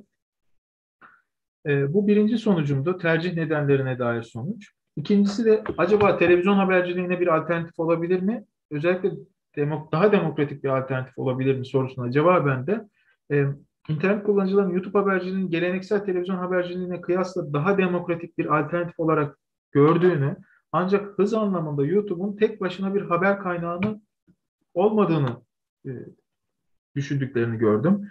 E, katılımcılar e, YouTube'u ikinci bir kaynak olarak gördüklerini belirttiler. Başka kaynaklardan haberleri alıyorlar. Twitter gibi, internet gibi ya da televizyon gibi kaynaklardan haberi alıyorlar. Eğer konu ilgilerini çektiyse, eğer daha derinlemesine bir e, analiz dinlemek istiyorlarsa o zaman YouTube'u e, YouTube'a yöneliyorlar. Dolayısıyla e, ben şu sonuca vardım. Biz YouTube'a yani bu benim çalışmam kapsamında şu sonuca vardım. Ee, YouTube haberciliğini biz belki YouTube e, geleneksel televizyondaki haber bültenlerine bir alternatif olarak düşünemeyiz. Ama bizim ülkemizde de çok yaygın olan ve prime time'da yer alan tartışma programlarına bir alternatif yapabiliriz. Çünkü haber bültenlerinde belki her bültende kanala göre değişmekle birlikte 15-20 tane o günün e, belirli konuları alınıyor. E, ve Onların her birinden bahsediliyor. Oysa bu YouTube haberciliğinde daha kısıtlı belli konular e, var ama bunlar daha derinlemesine inceleniyor. E, kültürel yaşama, sosyal yaşam pratiklerimize olan etkisi ile ilgili soruma gelecek olursak onun yanıtı olarak da e, bu katılımcıların e, katılımcılardan hareketle, verdikleri cevaplardan hareketle şu sonuca vardım ki YouTube kullanıcıların haber izleme alışkanlıklarını topluca belli zamanda, belli yerde ve herkesin aynı kaynaktan aldığı bir pratik olmaktan çıkarıp herkesin farklı seslerden bireysel olarak ve farklı zamanlarda haber aldığı bir alışkanlığa neden oluyor. Bu da e, genel haber alma ihtiyacına daha fazla pardon e, daha bireysel ve farklı zamanlarda haber aldığı bir alışkanlığa neden oluyor. Bu ayrı bir sonuç. Bir de YouTube haberciliği genel haber alma ihtiyacına daha fazla seçenek yarattığı için e, dijital temelli de bir medyatikleşmeyi besliyor, kuvvetlendiriyor. Bunlar ana sonuçlarımdı. Çok kısaca bir de diğer sonuçlardan bahsetmek gerekirse e, YouTube haberciler için etkileşim çok önemli onların düzenli gelir elde etmeleri için. Oysa ben benim katılımcılarım, görüşme yaptığım katılımcılar arasında etkileşimin çok fazla tercih edilmediğini, yorum yapmaktan tamamının kaçındığını e, fark ettim. Kişiyle iletişime geçmekten kaçınıyorlar ve hep fiziksel paylaşım yaptıklarını hani online olarak paylaşım yapmaktan kaçındıklarını gördüm. Fiziksel paylaşımdan kastım bir haberi arkadaşlarına fiziksel olarak söylüyorlar yani görüştükleri zaman aa şunu izledin mi diye. E, şu ana kadar edindikleri YouTube tecrübelerine göre bu YouTube platformunun yükseleceğini ve ileride bu YouTube haberciliğinin gelişeceğini düşünmekteler. E, bir de geleneksel medya ile kıyaslama sorularını sorduğunda hep televizyondan bahsettiler. Radyo ya da basılı dergide gazete gibi medya forumlarından ifadelerinde hiç bahsetmediler. E, ve katılımcıların en çok Cüneyt Özdemir ve Nevşin Mengü'yü seyrettiklerini fark ettim. E, bu bulguda e, hali hazırda bu kişilerin en çok takipçisi olan kişiler olmasıyla uyum göstermekte. Bir de internet kullanıcılarının YouTube algoritmalarından haberdar olduğunu fark ettim. Ben özellikle algoritmalarla ilgili hiçbir soru sormadım. Hatta algoritma kelimesini de geçirmedim ama çoğunluğu bu özellikle abone olma ve habere kolay ulaşma ile ilgili sorularda algoritmalardan e, farkındalar. E, bunu söylemek isterim. E, tabii ki daha fazla kaynaktan yararlandım ama burada sadece çev- kuramsal çerçeveden bahsederken de bu kaynaklardan yararlandım. E, benim sunumum bu şekilde. Evet, çok teşekkür ederiz Alp. E, bu e, ilginç sunumun için. E, gazeteciliğin meslek kültürünün bir e, monopolün veyahut da oligopolün dışında nasıl gelişebileceğine ilişkin ilginç tespitlere seyircinin bakış açısından göstermeye çalıştım. Onun için çok teşekkür ederiz. Evet, şimdi e, ilk önce soru var mı dışarıdan veyahut da kendi içinizde sorular var mı? Dışarıdan soru olup olmadığı konusunda belki Eda Hanım bize yardımcı olabilir. Eda Hanım sorumuz var mı acaba dışarıdan?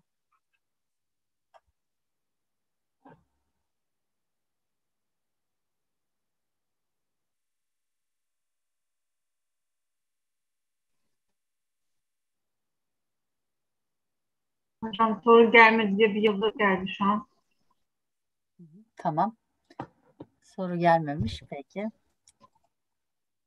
Evet. Chat Ee, bölümünde görünüyor. Hı hı, tamam. Peki sizin birbirinize sorularınız var mı? Sizlerin. Ee,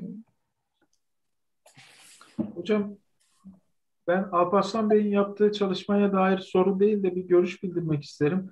Ben de e, işte çalışma konularımızı seçerken bu konu aslında aklıma gelmişti ama sonra yani çok böyle bir çalışma yapmak istedim ama sonra demiştim ki demek ki yeteri kadar da araştırmadığımı görüyorum. E, dedim ki ya Türkiye'de bir baktım ki bu, bu hani robot gazetecilik, yapay zeka gazeteciliği yok. Aa dedim o zaman neyi konuşacağım ki hani şeyler ihtimaller üzerinden gidemem herhalde dedim. Oysa onun çalışması sayesinde şimdi görüyorum ki algoritma haberciliği bayağı kullanılıyormuş. Hatta örnekleriyle ve siteleriyle de gösterdi.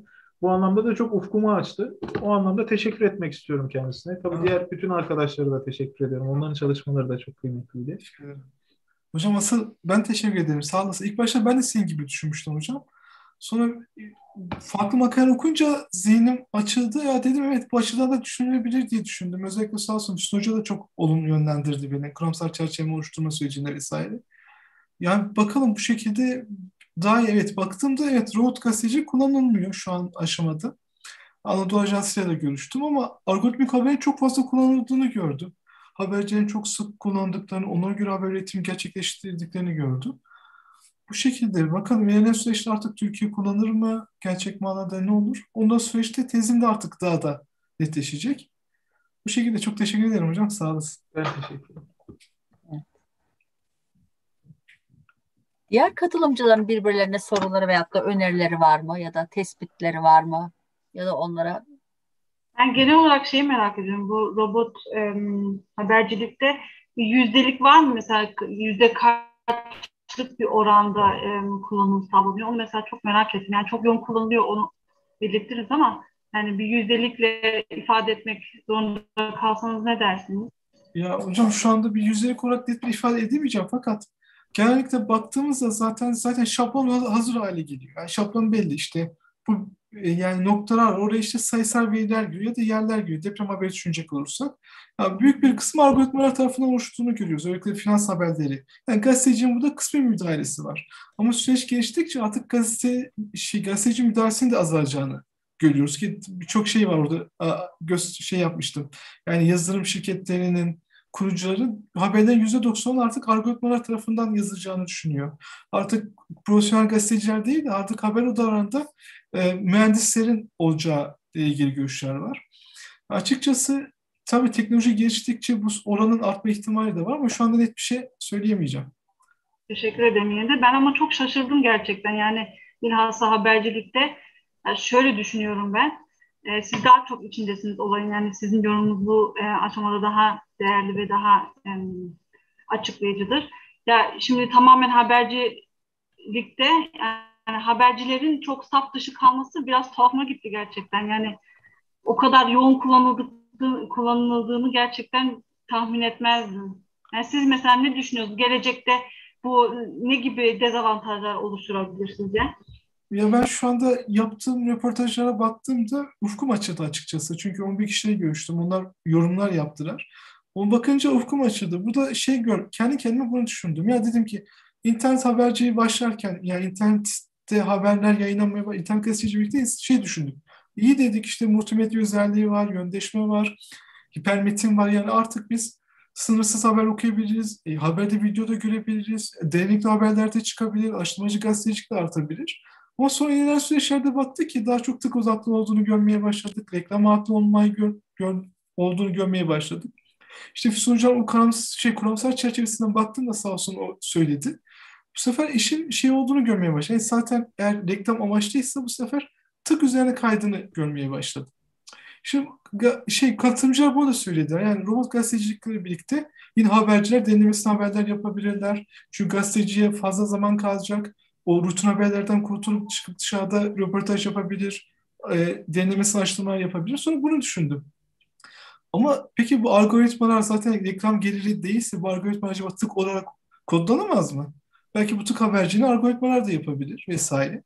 Şu anki süreçte baktığımda açıkçası tam böyle bir full bir süreç. Tam olarak net göremiyorum. Yani tam olarak iyi manada mı olacak gazeteciler için? Araştırmacı gazetecilik mi artacak? Yoksa diğer türlü artık daha çok reklamların tık odaklı haberleri mi daha çok göreceğiz?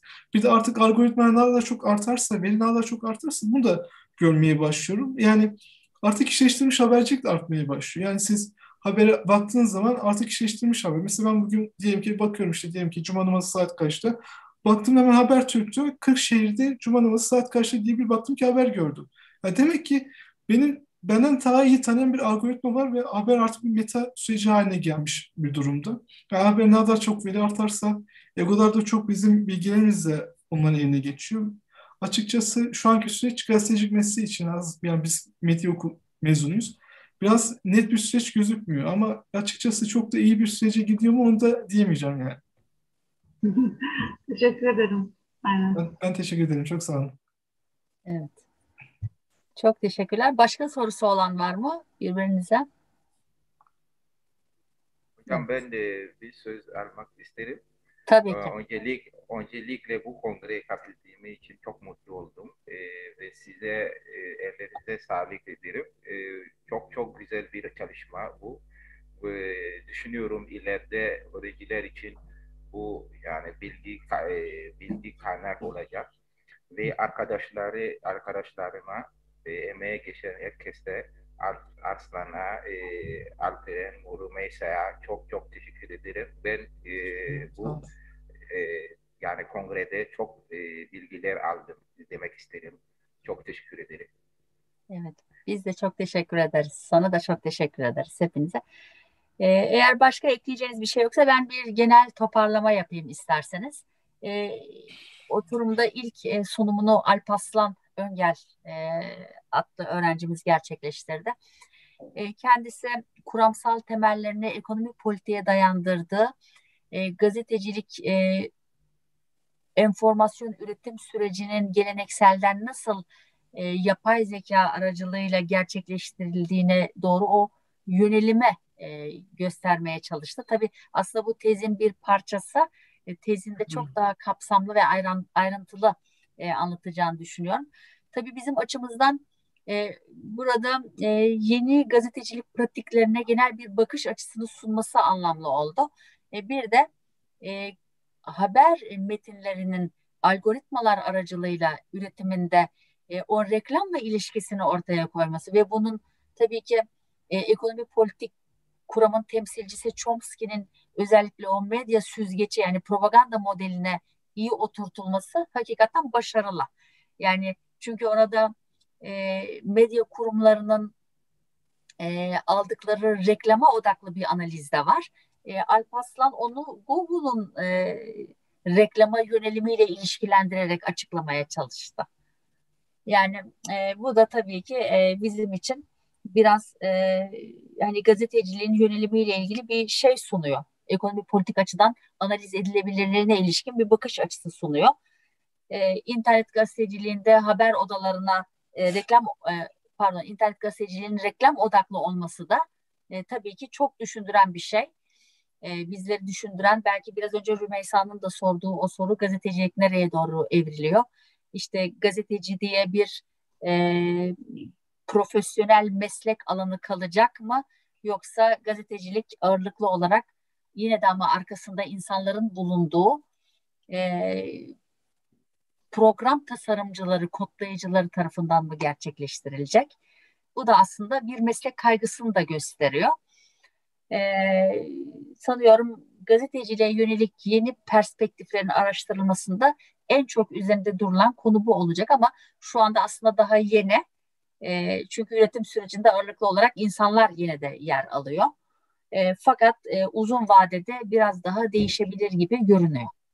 Evet ikinci e, konuşmacımız e, Dram e, Kasam Dram'da. E, kendisi Burkina Faso'yu bize anlattı. Orada e, yeni medya ve iletişim teknolojilerinin nasıl kullanıldığını, topluma e, kültürel etkilerini, toplumsal sosyal etkilerini, aynı zamanda politikaya ve ekonomiye etkilerini de irdeledi.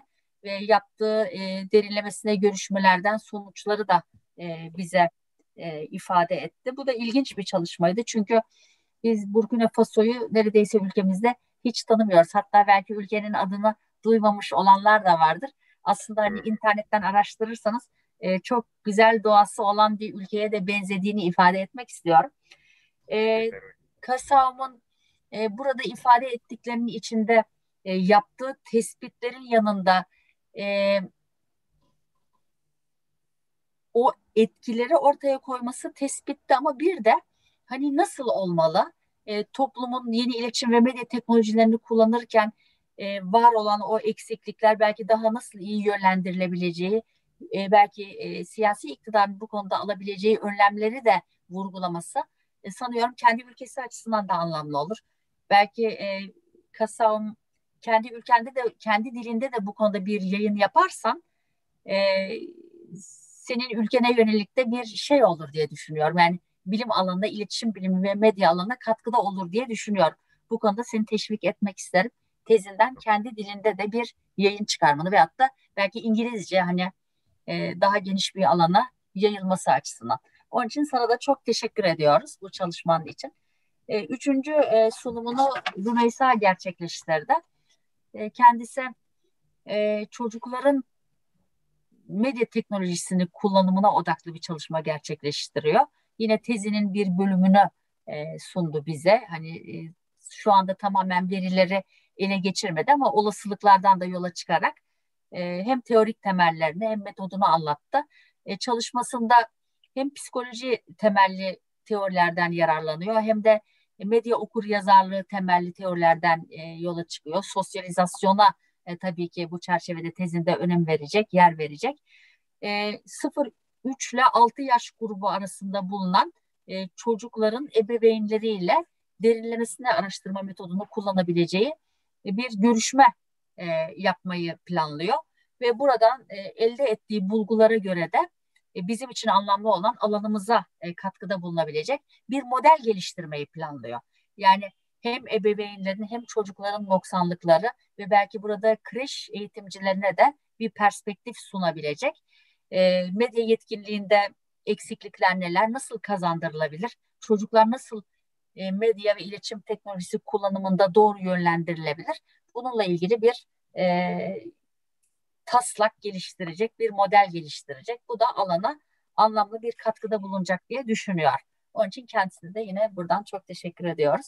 E, son konuşmacımız da Alp Eren Erbay'dı. Yine bizim üniversitemizin öğrencisiydi. Türk-Alman Üniversitesi'nin öğrencisinin sunumundan sonra e, kendisi sunumunu gerçekleştirdi.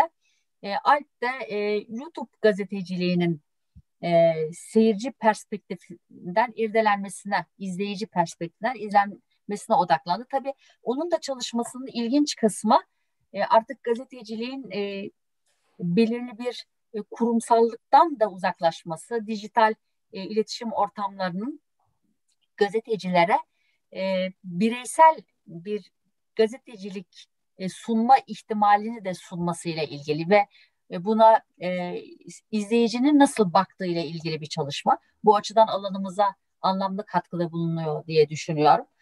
E, şimdi e, Alp'ın yaptığı çalışmada e, anket araştırmalarının sonuçlarını da işte e, içeriksel e, içerik niceliksel ve niteliksel içerik analizi yöntemleriyle analiz etmesi ve bir anket araştırması gerçekleştirmesi, e, izleyicinin perspektifini bize sunması, belki e, bu bireysel gazeteciliği gerçekleştiren gazetecilere de bir e, fikir verecektir.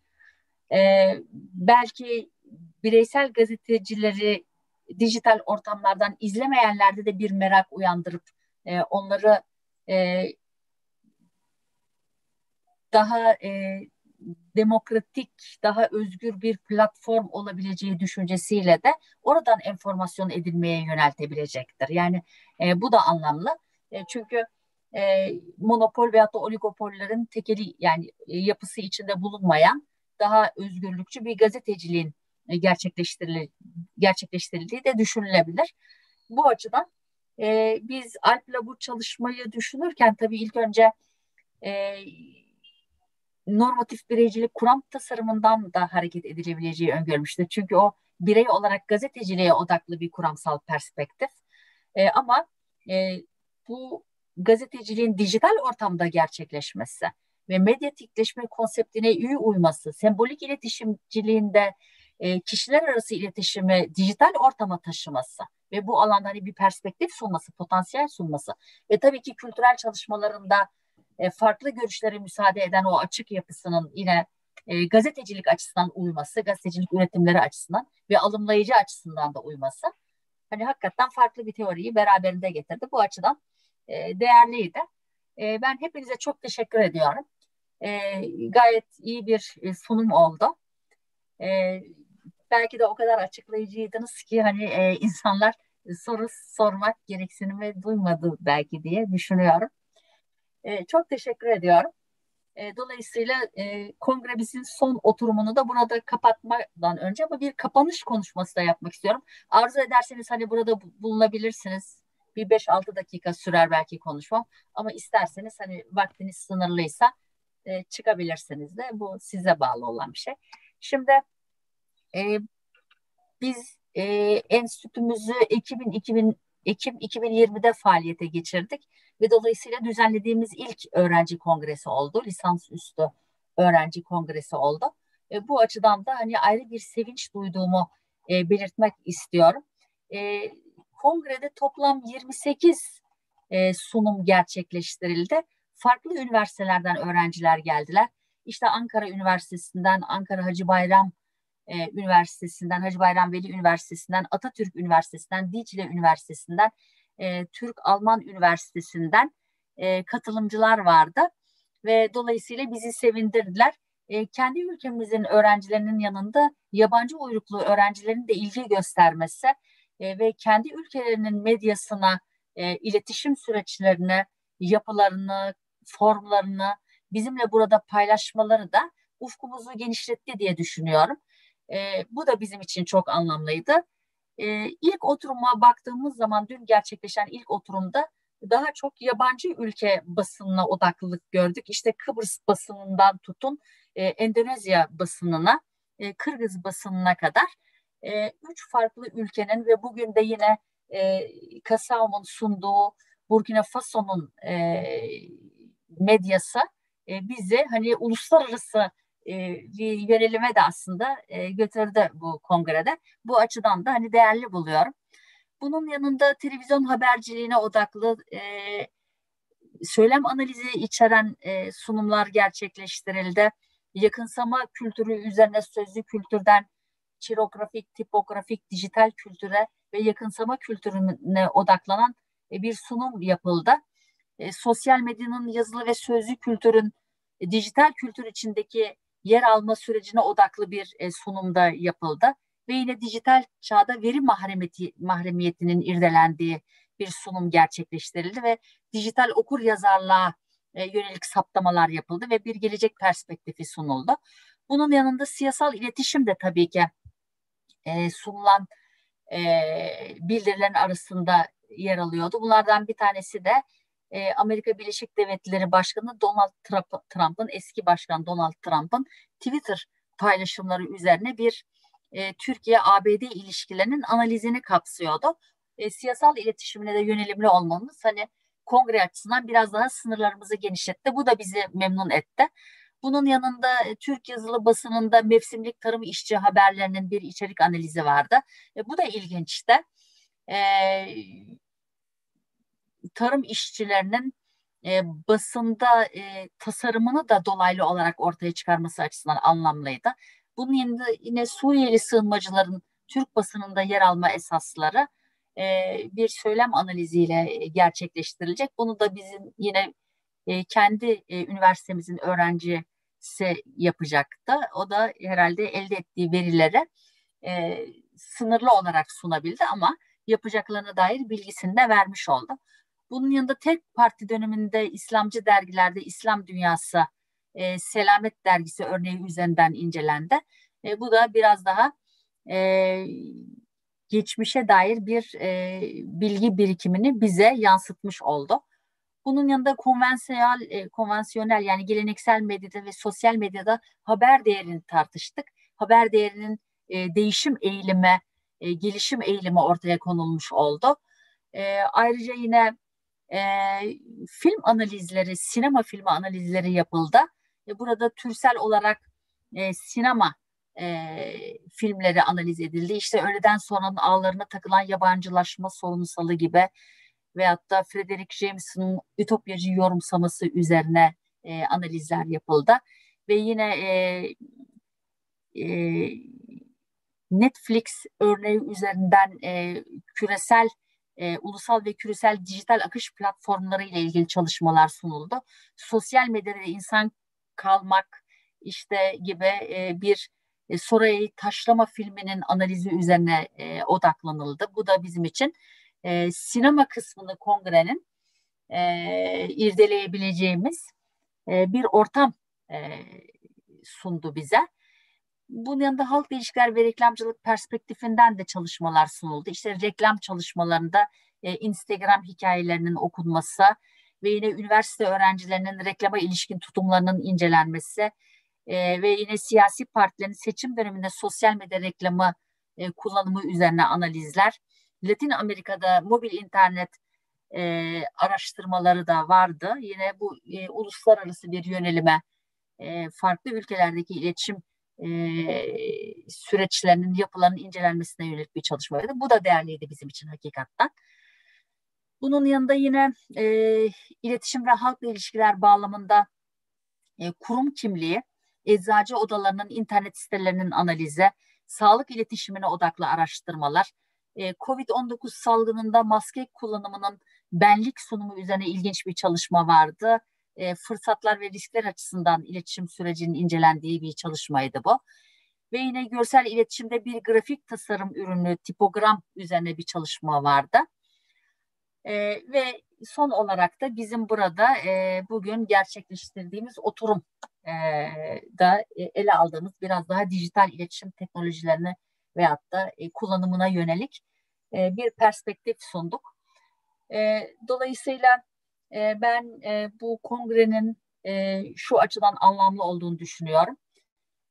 Lisans üstü programlar, lisans üstü öğrencilerinin sahip oldukları bilimsel temelleri geliştirebilecekleri ve biraz daha uzun vadede bilimsel kimliklerini kazandıkları e, ortamlar. E, onun için bu çalışmalar, sunumlar hem günümüz açısından hem de gelecek açısından, gelecekteki belki bilimsel kimlikleriniz açısından e, anlam taşıyor. Bunun için çok değerli. E, farklı üniversitelerden katılımcılara da e, bir platform sunması açısından anlamlı. E, iletişim bilimini biz burada teorileriyle, araştırma metotlarıyla, e, geleneksel veyahut da yeni dijital e, ortamlardaki e, yapısıyla, katılım formlarıyla, üretim süreçleriyle, etkileriyle e, bir arada analiz etmeye çalıştık. E, tabii e, buradaki e, bildirilerin içeriğine baktığımız zaman iletişim biliminin e, yönelim alanlarını da aslında işaret ediyor. Biraz daha e, dijital iletişimin, yeni iletişim teknolojileriyle gerçekleştirilen iletişime e, o kayışı da aslında çok iyi gösteriyor ve e, öğrencilerimizin de o alanı iyi keşfettiklerine, ona yöneldiklerine işaret ediyor. Bu da bizim için anlamlı çünkü artık içinde bulunduğumuz 2030'lara doğru e, giderken bu yıllarda e, iletişim bilimi e, kendisini yeniden kavramak durumunda. Çünkü teorileri değişiyor, araştırma metodolojisi değişiyor, araştırma problemleri ve soruları değişiyor. Onun için bizim de bunu ülke olarak tabii ki yakalamamız ve bu doğrultuda araştırmalar yapmamız gerekiyor. E, lisansüstü kongremizin de bu açıdan bir anlamı vardı. E, biz de yeni araştırma konularını öğrencilerimiz yakaladığı için e, sevinç duyuyoruz tabii ki. Dolayısıyla ben bu kongrenin e, gerçekleştirmesi sürecinde e, tabii ki tüm katılımcılara katıldıkları için bilgilerini yaptıkları çalışmaları bizlerle e, paylaşarak bir tartışma ortamı yarattıkları için e, onlara çok teşekkür ediyorum.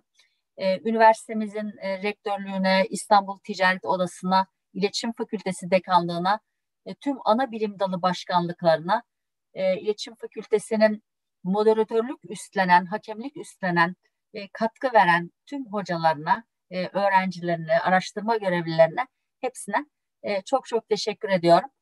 E, bir başka e, lisansüstü kongrede e, bir araya gelmeyi veya veyahut da yine e, daha genel bir kongrede e, lisansüstü öğrencilerin sınırlarını da aşan bir kongrede bir araya gelmeyi ümit ediyorum. E, hepinize başarılar diliyor ve teşekkür ediyorum. İyi akşamlar.